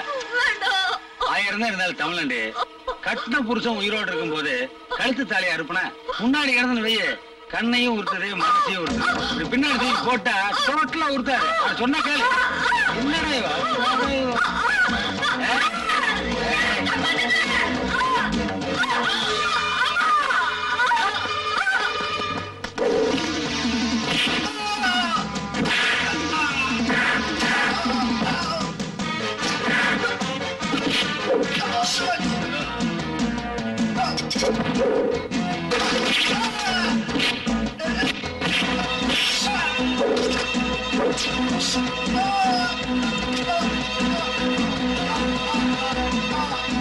எவன்டா சிவ பூஜையில்?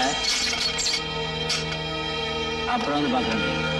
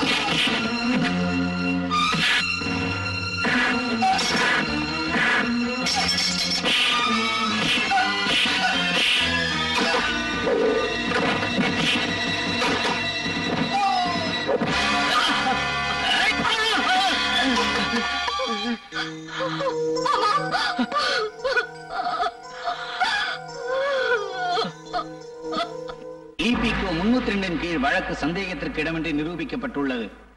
காவல்துறை அதிகாரிகளை கொலை செய்த குற்றத்திற்காக நரசிம்மனுக்கு தூக்கு தண்டனையும் அதற்கு உடந்தையாக இருந்த அவரது மனைவி சகுந்தலாவிற்கு ஆயுள் தண்டனையும் விதித்து தீர்ப்பளிக்கிறேன். இவர்களது மகன் நலன் கருதி அவனை சிறுவர் சீர்திருத்த பள்ளிக்கு சிபாரிசு செய்கிறேன்.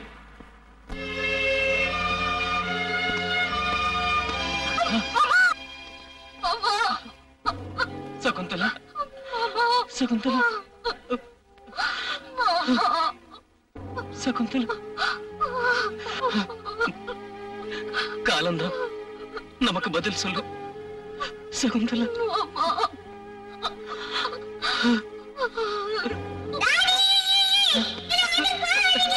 கண்ணா கண்ணா. கண்ணா. உன்னை விட்டு எங்களால கண்ணா. உன்னை விட்டு போக மாட்டேன் கண்ணா. கண்ணா. நிஜமாவா சொல்லுங்க இது வரைக்கும் நானும் அவரும் பொய் சொன்னதே இல்ல.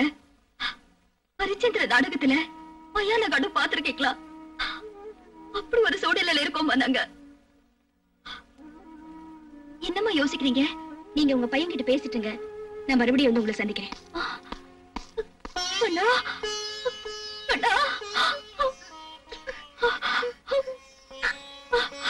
நல்லா இருக்கியாப்பா? நான் சொன்ன விஷயங்களை ஸ்ட்ரிக்டா ஃபாலோ பண்ணுங்க.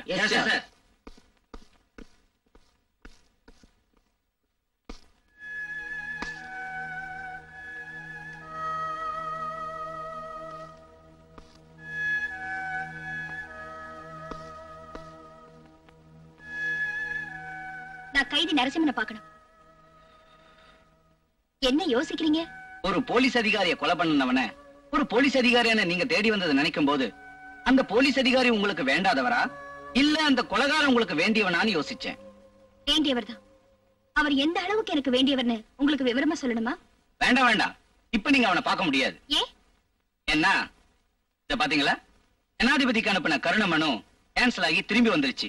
அதாவது அவன் தூக்கு தண்டனை உறுதியாயிடுச்சு.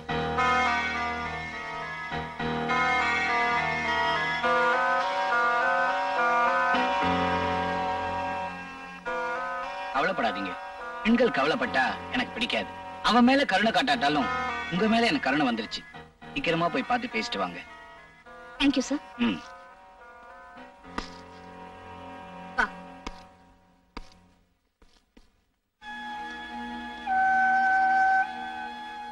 வணக்கம்.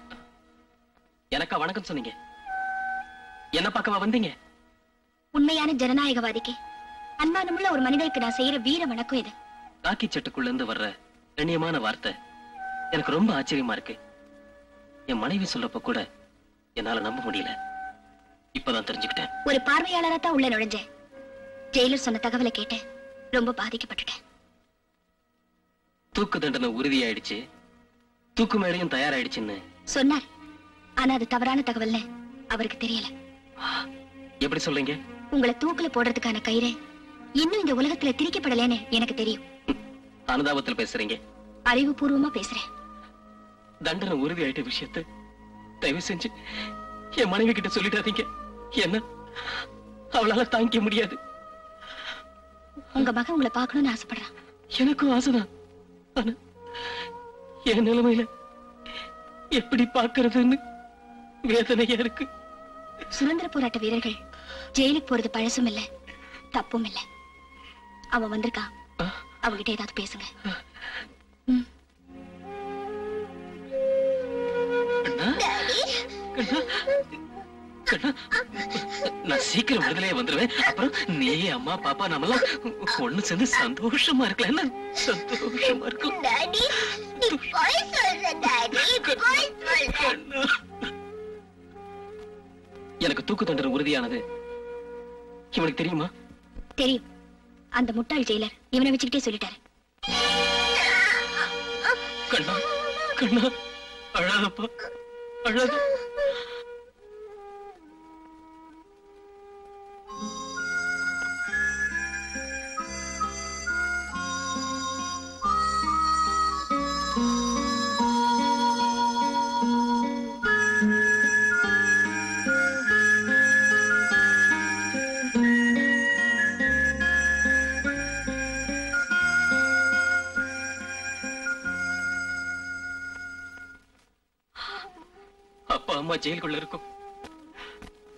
செஞ்சு அவனை பத்திரமா பாத்துக்கீங்க. உங்களையும் பாதுகாக்கணும்னு முடிவு பண்ணிட்டேன். தைரியமா இருக்க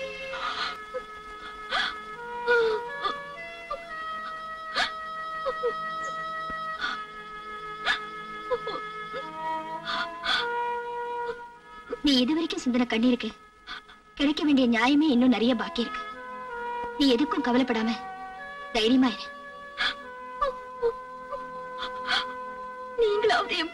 போத்துங்க கவலைப்படாதே. கடவுளோட தீர்ப்பு வர வரைக்கும் காகிதத்தில் எழுதப்பட்ட எந்த தீர்ப்பும் நம்மளை பாதிக்காது. முதல்ல நாம செய்ய வேண்டியது ஜெயில்ல இருந்த ஒன்ன சட்டவிரோதமா வெளியே கொண்டு வந்து உன் மாங்கல்யத்தை காப்பாத்துறேன்னு போய் சொல்லி உன் மானத்தை குறி வச்சவங்களுக்கு சட்டப்படி தண்டனை வாங்கி கொடுக்கணும். அப்பதான் அதிகார வெறியில இருக்கிற அந்த மந்திரிய வீட்டுக்கு அனுப்ப முடியும். கழுத்துல பூமாலையே பார்த்து பழக்கப்பட்டிருந்த அவனுக்கு சுருக்க கயிறு இருக்குங்கிறத புரிய வைக்கணும். அது எப்படிமா முடியும்? அவங்க அயோக்கியங்களா இருந்தாலும் அந்த துள்ளவங்களா இருக்காங்களே. அவங்கள பகைச்சுக்கிட்டு என் புருஷனை காப்பாத்த முடியுமா? ஏன் முடியாது? முடியாதுங்கிற வார்த்தையே முதுகெலும்பு இல்லாதவங்களோட ஏக்க பெருமூச்சுதான்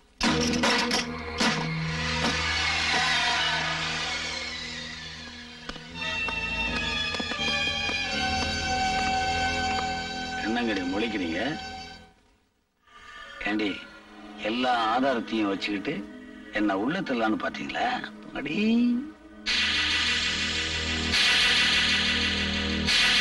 இந்த மாதிரி லூசு உனக்கு உங்க சட்டமும் உன் கோட்டம் தாண்டி தெரியும். என் சட்டமும் என் கோர்ட்டும் உனக்கு தெரியாது. அப்பல இவளை நம்ம கோர்ட்டுக்கு கொண்டு போங்கடா. வேண்டாம் கிட்ட வராதே. சொன்னா கேளு நான் யாரும் உனக்கு தெரியாது. Be careful you bloody rascal. விடுறா என்ன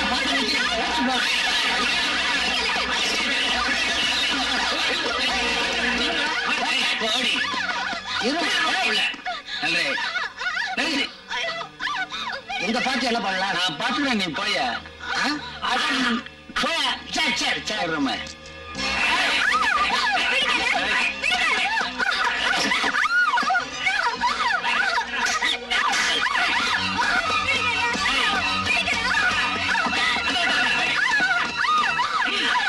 சந்திரா எனக்கு எதிரான சாட்சி பேப்பர் இருந்ததுன்னா அதை அழிக்கிறது என் வழக்கம். இன்னைக்கு அது ஒரு அழகான பொண்ணாகிறதுனால உயிரோட விட்டுற முடியுமா? இல்ல என் உயிரத்தை விட முடியுமா? என்னடா கட்டி அணைச்ச கையாலேயே கழுத்து நெரிக்க போறானேன்னு பாக்குறியா? போங்கடி இம்சா தாங்காம பொண்டாட்டியே கொண்டுட்டேன் நீ என்னடி இப்ப உன்னை கொல்ல போறேன். ரெடி ஆயிக்க.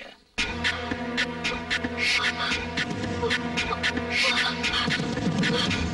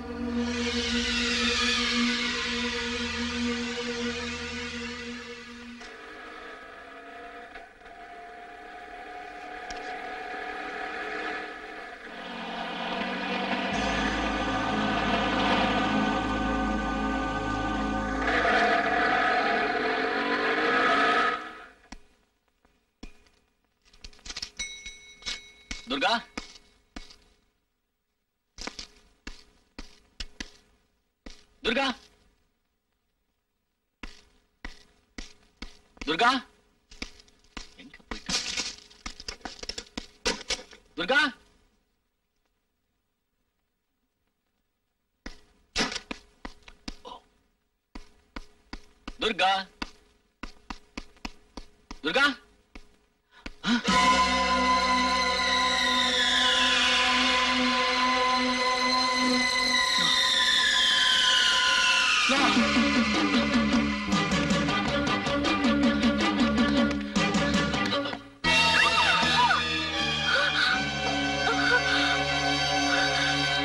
பலாத்காரம் பண்ணுவானேன்னு பயந்து போய் வந்தா என்னடா அதை இப்படி பண்றானேன்னு பாக்குறியா? எல்லாம் மனுஷனுக்கு ஒரு ஆசைதான். துர்கா அமைச்சரானதுக்கு அப்புறமா எனக்கு கல்யாணம் நடந்தது. அன்னக்காவடியா இருக்கும் போதே பண்ணி வச்சுட்டானுங்க. ஒரு சின்ன குடிசையில சிங்கிள் டீல என் ஃபர்ஸ்ட் நைட் முடிஞ்சது. அட என்னைய விடு நான் பொறுக்கி நாய் ஆனா நீ எப்படியா? அதனாலதான் இவ்வளவு பிரமாதமா ஏற்பாடு பண்ணிருக்கேன் எப்படி இருக்கு? முடியலையா சரி விடு கட்டில தூக்கி மொட்டை மாடியில காத்தோட்டமா போட்டுருவோம். ஓபனா ஒர்க் அவுட் பண்ணுவோம். உலவும் தென்றல் என்ன பாத்துக்கிட்டு போற பொதுக்கூட்டம் நடத்துறான் பரதேசி போயிடலாம் வச்சு ஒண்ணுமே பண்ண முடியாது. அட நீ என்ன கவனம்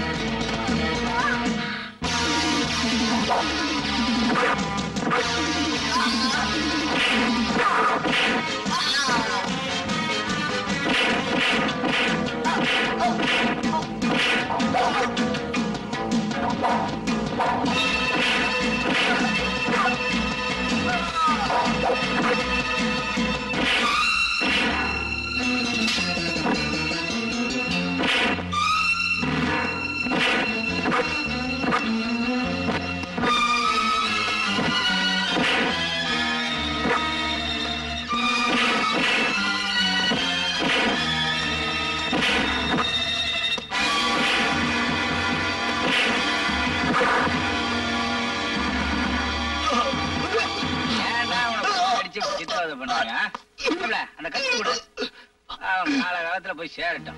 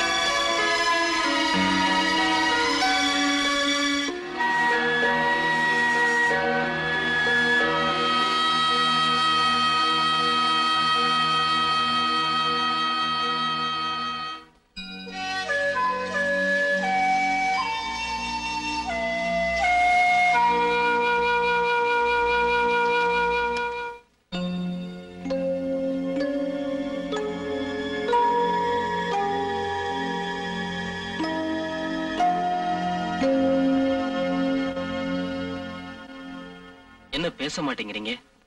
ஆயிருந்து ஊமையாயிட்டேன். உயிர் இருந்து பிணமாயிட்டேன். இன்ஸ்பெக்டர். இப்ப நான் இன்ஸ்பெக்டர் இல்ல. வேலையை ரிசைன் பண்ணிட்டேன். என்ன என்னாலேயே பாதுகாக்க முடியல. இருந்த ஒன்னையும் பறி கொடுத்துட்டேன். நான் இப்படி மத்தவங்களுக்கு காவலா இருக்க முடியும்? மன வேலைப்பாடுகளோடு செய்யப்பட்ட இந்த தங்க சிம்மாசனத்தில் அமர்ந்து ஆட்சி செய்த கற்பங்கிற புனிதம் பதவி நீக்கம் செய்யப்பட்டு பழங்க ஆட்சிக்கு வந்துருச்சு. கோயிலுக்குள்ளேயே மயான பூமியை உருவாக்கிட்டாங்க. விபச்சார விடுதியை உண்டாக்கிட்டாங்க. இந்த காவல் பூனைக்கு உடம்புக்கு வெளியே ஒண்ணு காயமில்ல. எல்லாம் உடம்புக்குள்ளதான். ரத்தம் எலும்பு நரம்பு எல்லாமே கெட்டு போச்சு. இப்ப எனக்கு நேர்ந்துள்ள கொடுமைக்கு மரணம் மட்டும்தான் நிம்மதியை தர முடியும். ஆனா நான் மறுபடியும் பிறந்து வந்து அவங்கள தண்டிக்க முடியும். அதனாலதான் இந்த ஜென்மத்திலேயே தீர்ந்தது கணக்குன்னு நான் உங்களுக்கு பதில் சொல்ல விரும்புறேன். நீங்க என்ன சொல்றீங்க? இன்ஸ்பெக்டர். என் பேர் துர்கா. வெக்கத்தை விட்டு சொல்றேன். மந்திரியும் அவனோட ஆட்களும் என்ன கெடுத்துட்டாங்க கேக் ரேப் பண்ணிட்டாங்க? உங்க மனைவியோட கற்புக்காக போராடின என்ன? உயிர் பணமாக்கிட்டு அவங்கள பணமாவே ஆக்கிட்டாங்க. என் வாழ்க்கையில பிரளயம் ஏற்பட்டதுக்காக நான் மூழ்கி சாக விரும்பல. பைபிள்ல சொல்லப்பட்ட நோவா போல கப்பல் கிடைக்கலைனாலும் படகுலையாவது தப்பி பழிய தீத்துக்கணும்னு ஆசைப்படுறேன். நீங்க எனக்கு ஒரு உதவி செய்யணும். ஒரு கொலை பண்ணாலும் ஒரு தடவை தான் தூக்கு. மூணு கொலை பண்ணாலும் ஒரு தடவை தான் தூக்கு. ஆகஸ்ட் நாலாம் தேதி அதிகாலை அஞ்சரை மணிக்கு மேல நீங்க இந்த பூமியில வாழ உரிமை இல்லைன்னு இந்தியன் பீனல் கோட் சொல்லியிருக்க. சாகறதுக்கு முன்னால நீங்க ஏன் நல்லது செஞ்சுட்டு சாக கூடாது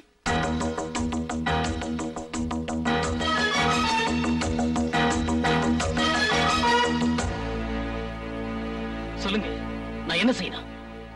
குற்றவாளிங்க மூணு பேர் இல்ல. முப்பதாயிரம் பேர் இருந்தாலும் சரி. என் உடம்புல கடைசி சுட்டு ரத்தம் இருக்கிற வரைக்கும் போராடி அழிக்கிறேன். சொல்லுங்க நான் என்ன செய்யணும்? யுத்தத்துக்கு நீங்க தயாரா இருங்க உங்களை வெளியே கொண்டு வர வித்தையை நான் பாத்துக்கிறேன் முள்ள முள்ளாலே எடுக்கிறேன் உங்ககிட்ட மடி பிச்சை கேட்டு வரல. எதிரிகளுக்கு மரண பிச்சை கேட்டு வந்திருக்கேன். நீங்க எனக்கு உதவி செய்வீங்களா? இறந்து போன என் மனைவி மேல சத்தியம். அவ சாவுக்கு காரணமான ஒவ்வொருத்தர் சாவுக்கும் நானே காரணமா இருக்க விரும்புறேன்.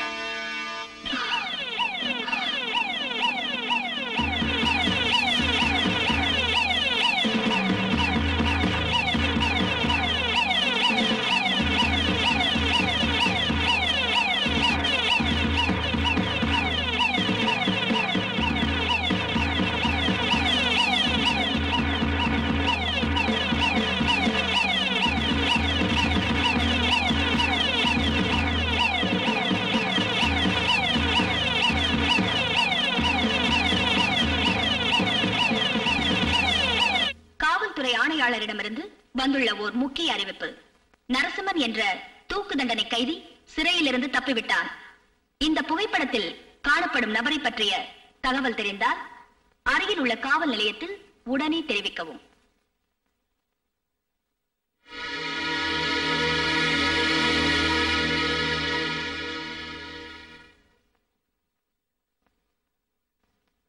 Take it. Mm. Relax. Be comfortable. Sir நீங்க ஒரு மாஜி போலீஸ் அதிகாரி. நாங்க நடத்திக்கிட்டு இருக்கிற போராட்டத்துக்கு உங்க உயிரை பத்தி கூட கவலைப்படாம நீங்க செய்யற உதவிக்கு எப்படி நன்றி சொல்றதுன்னு புரியல சார் சர்வீஸ் முழுக்க சில அயோக்கியத்தனமான அரசியல்வாதிகளுக்கு சல்யூட் அடிச்சு அலுத்து போச்சுப்பா. ரிட்டையர்ட் ஆனதுக்கு அப்புறமாவது இந்த மாதிரி ஒரு நல்ல காரியத்துக்கு அயோக்கியத்தனத்தை அழிக்கிறதுக்கு உதவி செய்ய சந்தர்ப்பம் கிடைச்சது நினைச்சு நான் சந்தோஷப்படுறேன். என்ன ஊரெல்லாம் வலை போட்டு தேடுற போலீஸ்? உங்க வீட்டுல மட்டும். ஏன் தேடல?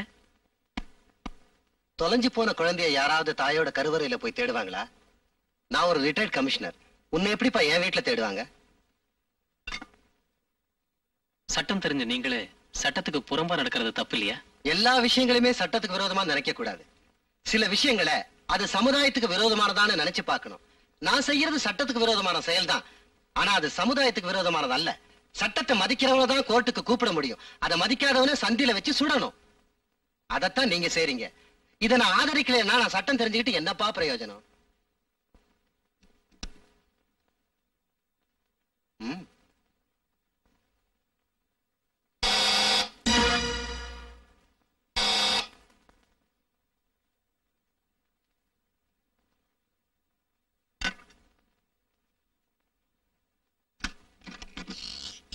வணக்கம் sir Come on, my child.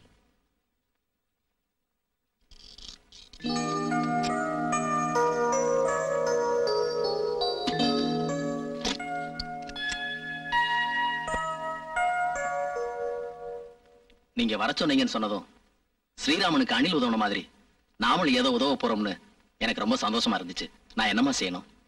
நூறு ரூபாய் உங்ககிட்ட கொடுத்து பத்திரமா வச்சிருங்கண்ணா என்ன செய்வீங்க? பையிலேயே வச்சிருப்பேம்மா. ஆயிரம் ரூபாய் கொடுத்தா? பெட்டியில பூட்டி வைப்பேன். லட்சம் ரூபாய் கொடுத்தா? வீட்டுல வைக்க மாட்டேன். மடியிலேயே வச்சுக்குவேன். அப்பதான் பாதுகாக்க முடியும். இப்ப எத்தனை கோடி கொடுத்தாலும் கிடைக்காத ஒரு பொருளை ஒரு ஜீவனை உங்ககிட்ட ஒப்படைக்கிறோம்.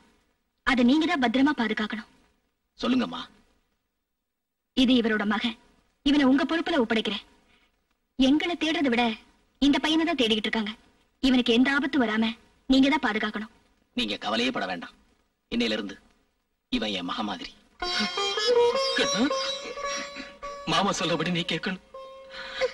காலத்தை நாங்க ஜெயிச்ச நாங்க வந்து உன்னை பாக்குறோம் காலம் எங்களை ஜெயிச்ச நீ வந்து எங்களை பாரு. நடு நான் இங்க மாதிரி செத்து கிடப்போம்.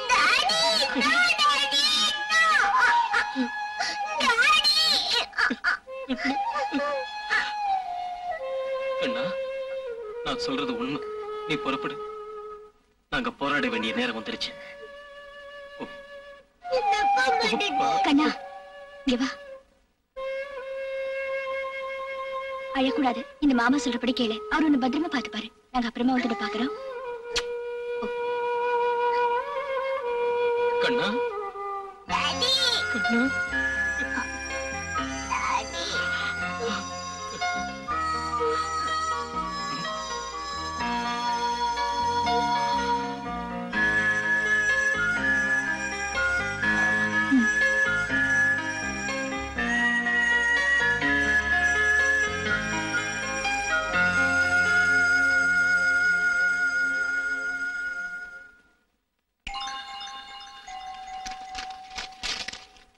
மிஸ்டர் நரசிம்மன் இது டிரைனேஜ் திட்டத்துக்காக மெட்ராஸ் கார்பரேஷன் வெளியிட்ட சிட்டி மேப் இந்த இடத்துல இருந்து ஆரம்பிச்சா பன்னெண்டு மைல் சுற்றுலா உள்ள இந்த நகரத்துல நீங்க எந்த இடத்துக்கு வேணாலும் போயிட்டு வரலாம். ரோட்ல நடக்காமையே பூமிக்குள்ளேயே போயிட்டு வரலாம். ஒவ்வொரு தெருவிலையும் உங்களை எதிர்பார்த்து போலீஸ் காத்துக்கிட்டு இருக்கிறதுனால நீங்க இந்த சுரங்கப்பாதை வழியா தான் நடக்கணும். சமூக விரோதிகளோட வீடு எங்க இருக்குன்னு இதுல பார்த்து வச்சுக்கிட்டு நம்ம யுத்தத்தை ஆரம்பிப்போம். இன்னைக்காக நடந்த மகாபாரத யுத்தம் பதினெட்டு நாள் நடந்துச்சு. மனித தர்மத்துக்காக நடக்க போற இந்த யுத்தம் இன்னும் இருபத்தி மூணு நாள்ல முடியுது ஜெயிச்சு காட்டுவோம். ஆல் தி பெஸ்ட் நேர்மையான போலீஸ் அதிகாரியா இருந்த நீ எதுக்காக அந்த வேலையை ராஜினாமா செய்தேங்கிறது எனக்கு தெரியாது. ஆனா தூக்கு தண்டனை கைதி தப்பிச்சு போனதுக்கும் உன்னோட ராஜினாமாவுக்கும் ஏதோ தொடர்பு இருக்குன்னு டிபார்ட்மெண்ட் நினைக்குது. சபாஷ் கற்பனை வளமுள்ள அதிகாரிகள் கூட காவல்துறையில இருக்காங்களா? இது கற்பனை இல்ல. யூகம். ரெண்டு ரெண்டு நாலுங்கிறது கற்பனை இல்ல. கணிதம் ஏற்கனவே ஜெயில இருந்து எந்தெந்த குற்றவாளிகளை தப்பிக்க விட்டேன்னு எம்எல்ஏ ஏதாவது ரெக்கார்ட்ஸ் இருக்கா? ஆனா தப்பிச்சு போன அந்த குற்றவாளிய சமீப காலத்துல அடிக்கடி சந்திச்சது நீதான். சாம்பார்ல கலந்திருக்கிற உப்பு எப்படி கண்ணுக்கு தெரியாதோ அதே மாதிரி நீயும் இந்த வழக்குல சம்பந்தப்பட்டிருக்கிறது தெரியாது. அதை நிரூபிக்கிறதுக்கு கொஞ்சம் நாள் ஆகும் ரொம்ப நாளைக்கு அப்புறம் வீட்டுக்கு வந்திருக்கீங்க. ஏதாவது டீ காஃபி? நோ நாங்க குற்றவாளிகளோட எந்த தொடர்பும் வச்சுக்கிறது இல்ல அதை எப்படி அவ்வளவு சீக்கிரமா முடிவு பண்ணிட்டீங்க? நான் எடுத்த முடிவு சரியா தவறாங்கிறது சீக்கிரம் தெரியும்.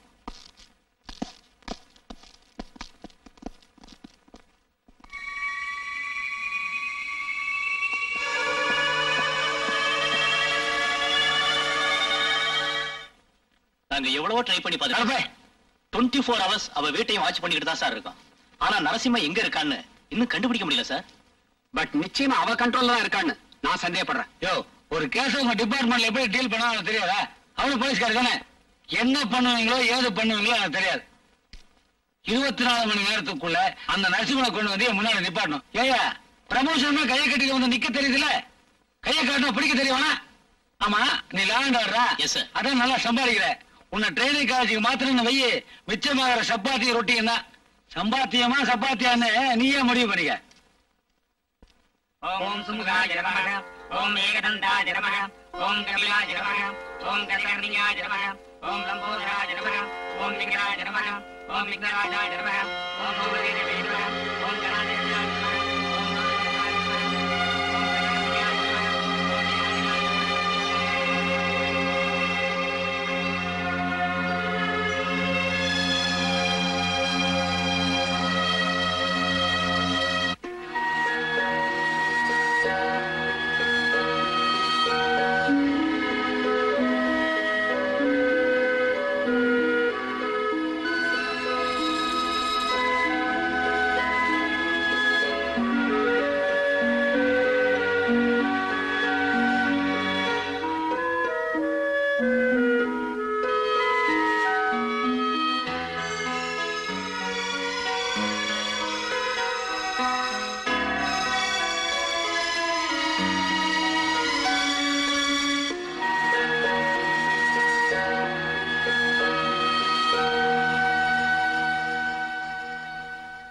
நெய்வேத்தியத்துக்கு கொஞ்சம் பால் வேணும். எடுத்துட்டு வரையல?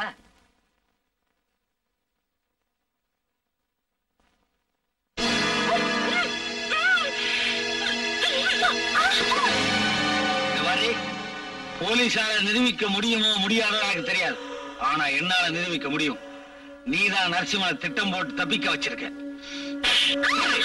ஏண்டி என்ன மாதிரி அரசியல்வாதிக தான் பொதுக்கூட்டத்துக்கும் ஊர்வலத்துக்கும் வெளியூர்ல இருந்து சம்பளத்துக்கு ஆள் பிடிச்சிட்டு வரோம் நீயும் பிடிக்க ஆரம்பிச்சிட்டியா? உனக்கு துணையா ஜெயில இருக்கிற ஒரு தூக்கத்தண்ண கைதியவே பிடிச்சிட்டு வந்திருக்கீங்கன்னா சரி ஹலோ உன்னை விட நான் பயங்கரமான கில்லாடி. பத்திரத்தை கொடு படிச்சு பார்த்துட்டு ஒரு கையெழுத்து போடு. வாங்கி படி சொத்தையாளி தர படி.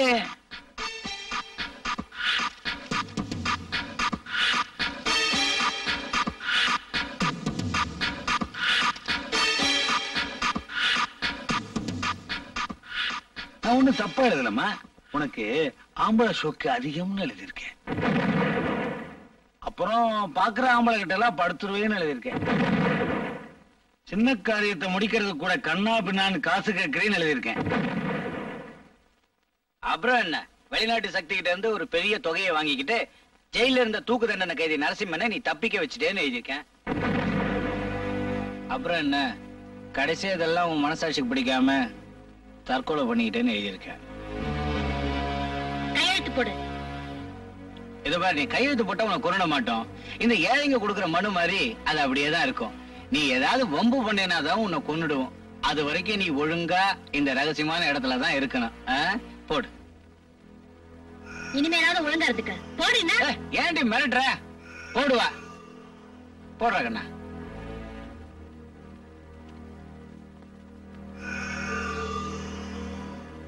என்னம்மா யோசிக்கிற?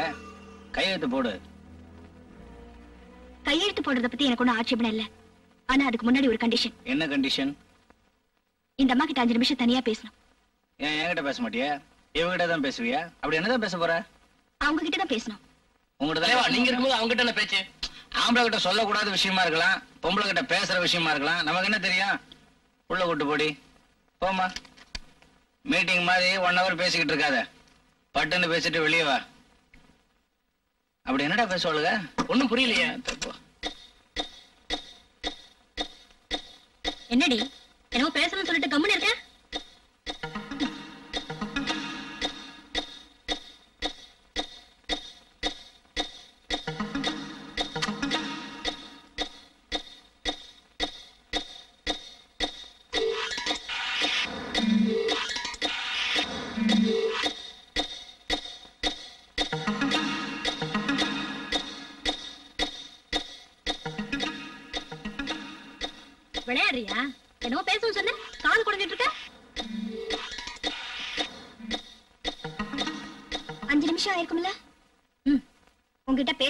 பேசிட்டேன்.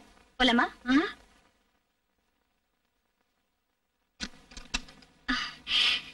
சார் சார் நான் கையெழுத்து தானே சார் போடணும்? எங்க சார் போடணும்? எதுல சார் போடணும்? இப்பவே போடுறேன் முதல்ல கையெழுத்து போட மாட்டேன்னு சொன்னேன். உள்ள போய் பேசிட்டு வந்து கையெழுத்து போறங்கிறியே உள்ள என்னமா பேசுனீங்க? அது வந்து நான் நான் கையெழுத்து அப்புறம் போடலாமா என்ன பேசுனீங்க? என்ன பேசுனீங்க? சொல்றேன் ஒண்ணு பேசலையே. கதை விடுறா அப்படியே உன்னை கொன்னே போடுவ மரியாதை சொல்ல. என்ன பேசுனீங்க ஒண்ணுமே பேசலீங்க. அவ பேசுனாங்களா நீ இல்லைங்கிற. என்னடா பேசுனீங்க ஒண்ணுமே பேசலீங்க. இன்னும் என்னடா பண்ணீங்கப்பா அவதான் கால் குடஞ்சிட்டு இருந்தா தலைவா எனக்கு காது குத்துறியா நீ? ஒண்ணு பேசலீங்க. நான் உங்களுக்கு ஆ, துரோகப்பட்டேன் நீ செய்ய மாட்டீங்க. ஏய் சொல்றி என்னடி பேசுனீங்க? ஒண்ணு இல்லைங்க. சொல்றி வேணா என்கிட்ட அடி வாங்கி சாகாதரி சொல்றி என்னடி பேசுறீங்க ஏய் எங்கடா அவ? பரதேசி பசங்க புரியுதா? என் பொண்டாட்டி அப்பவே சொன்னா இந்த கழுத சாவாசம் எல்லாம் வச்சுக்காதீங்கன்னு கரெக்டா போச்சு பத்தியா? சத்தியமா ஒண்ணுமே பேசலைங்க. ஏய் ஊர்ல இருக்கவங்களுக்கு எல்லாம் நான் ரூட்டை கொடுக்குறேன். நீ எனக்கு ரூட்டை கொடுக்குறியா? கொன்னுடுவேன்.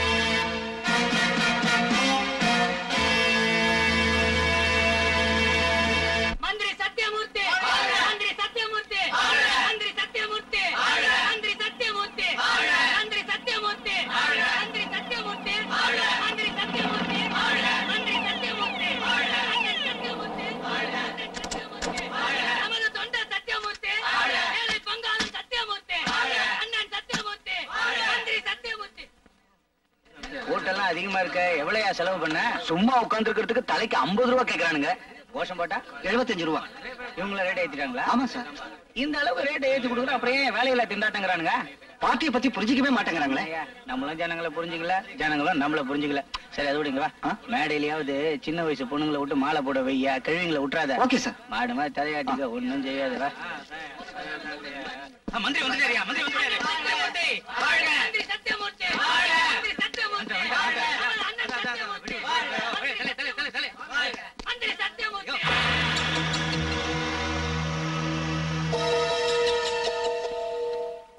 மதிப்பிற்கும் மரியாதைக்கும் உரிய மாண்புமிகு அமைச்சர் அவர்களே இங்கு குழுமி இருக்கின்ற பெரியோர்களே தாய்மார்களே இன்று பொன்விழா காணும் எங்கள் அமைச்சர் இன்னும் நூறாண்டு காலம் வாழ்ந்து இந்த மக்களுக்கு சேவை செய்வார் என்பது நிச்சயம்.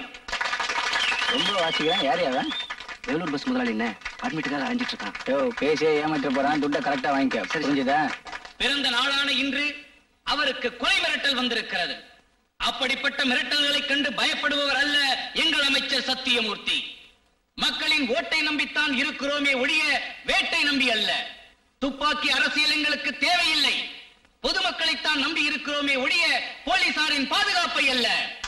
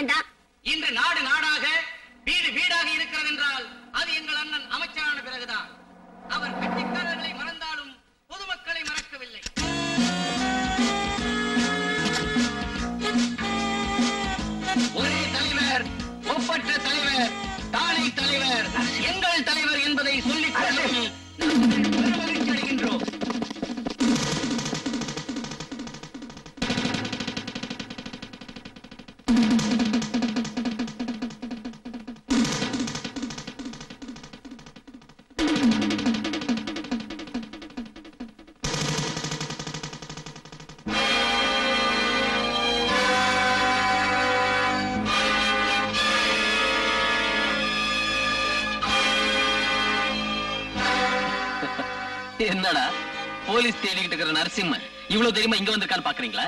என்ன பண்றது? நான் தேடிக்கிட்டு இருக்கிற இரண்ய இங்கதான் இருக்கான். அநியாயத்தை அழிக்க அவதாரம் எடுத்து எடுத்து ஆண்டவன டயர்ட் ஆயிட்டான். ஆனா இப்போ மனுஷன அவதாரம் எடுத்திருக்கான். அந்த கால நரசிம்மனா இருந்தா கதையோட வந்திருப்பான். ஆனா இப்ப இந்த மாடர்ன் யுகத்துல இந்த நரசிம்மன்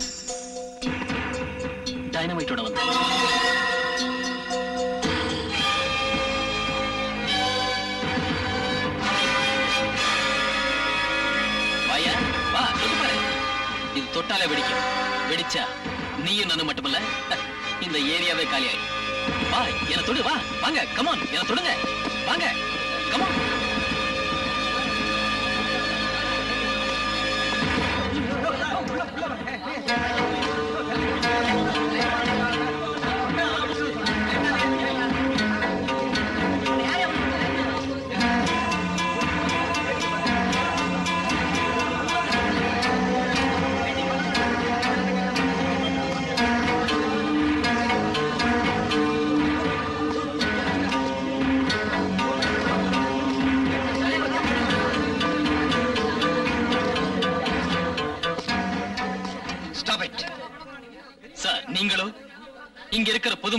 எனக்கு எதிரி இல்ல.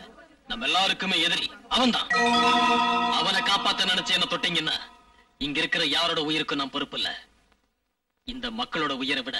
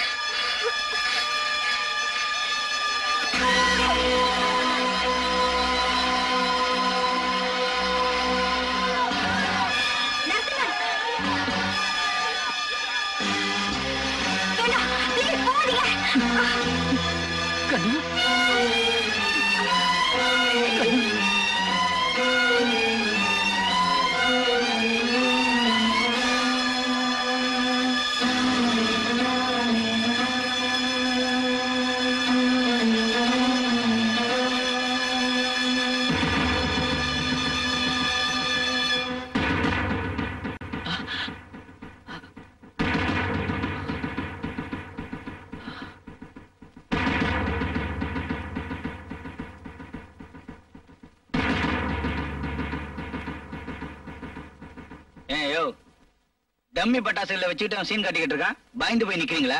அடிச்சு கொல்லுங்கடா அவனை.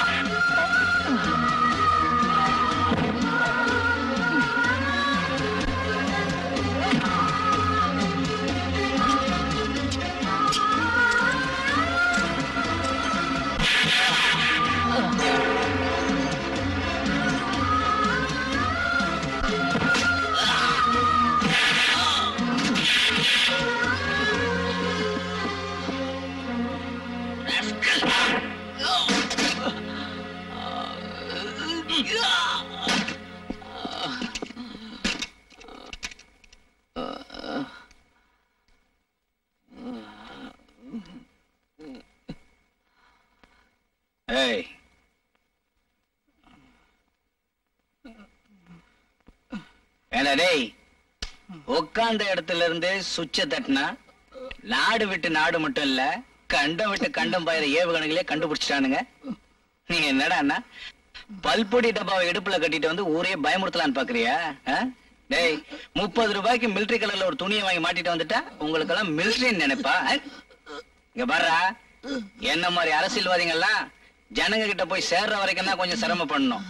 மைக்கு ஈக்க புடிச்சு அசத்தி சேர்ந்துட்டோன்னு வை. அப்புறம் உன்ன மாதிரி ஆளுங்க தான் மேல போயிட்டே இருக்கணும். புரிஞ்சதா? போனது போயிட்டு போகுது அடுத்த ஜென்மத்திலேயாவது அரசியல்வாதிகளை பகச்சுக்காத. கூட்டு போங்கயா அடிச்சாதீங்க. அடுத்த மீட்டிங் எவ்வளவு?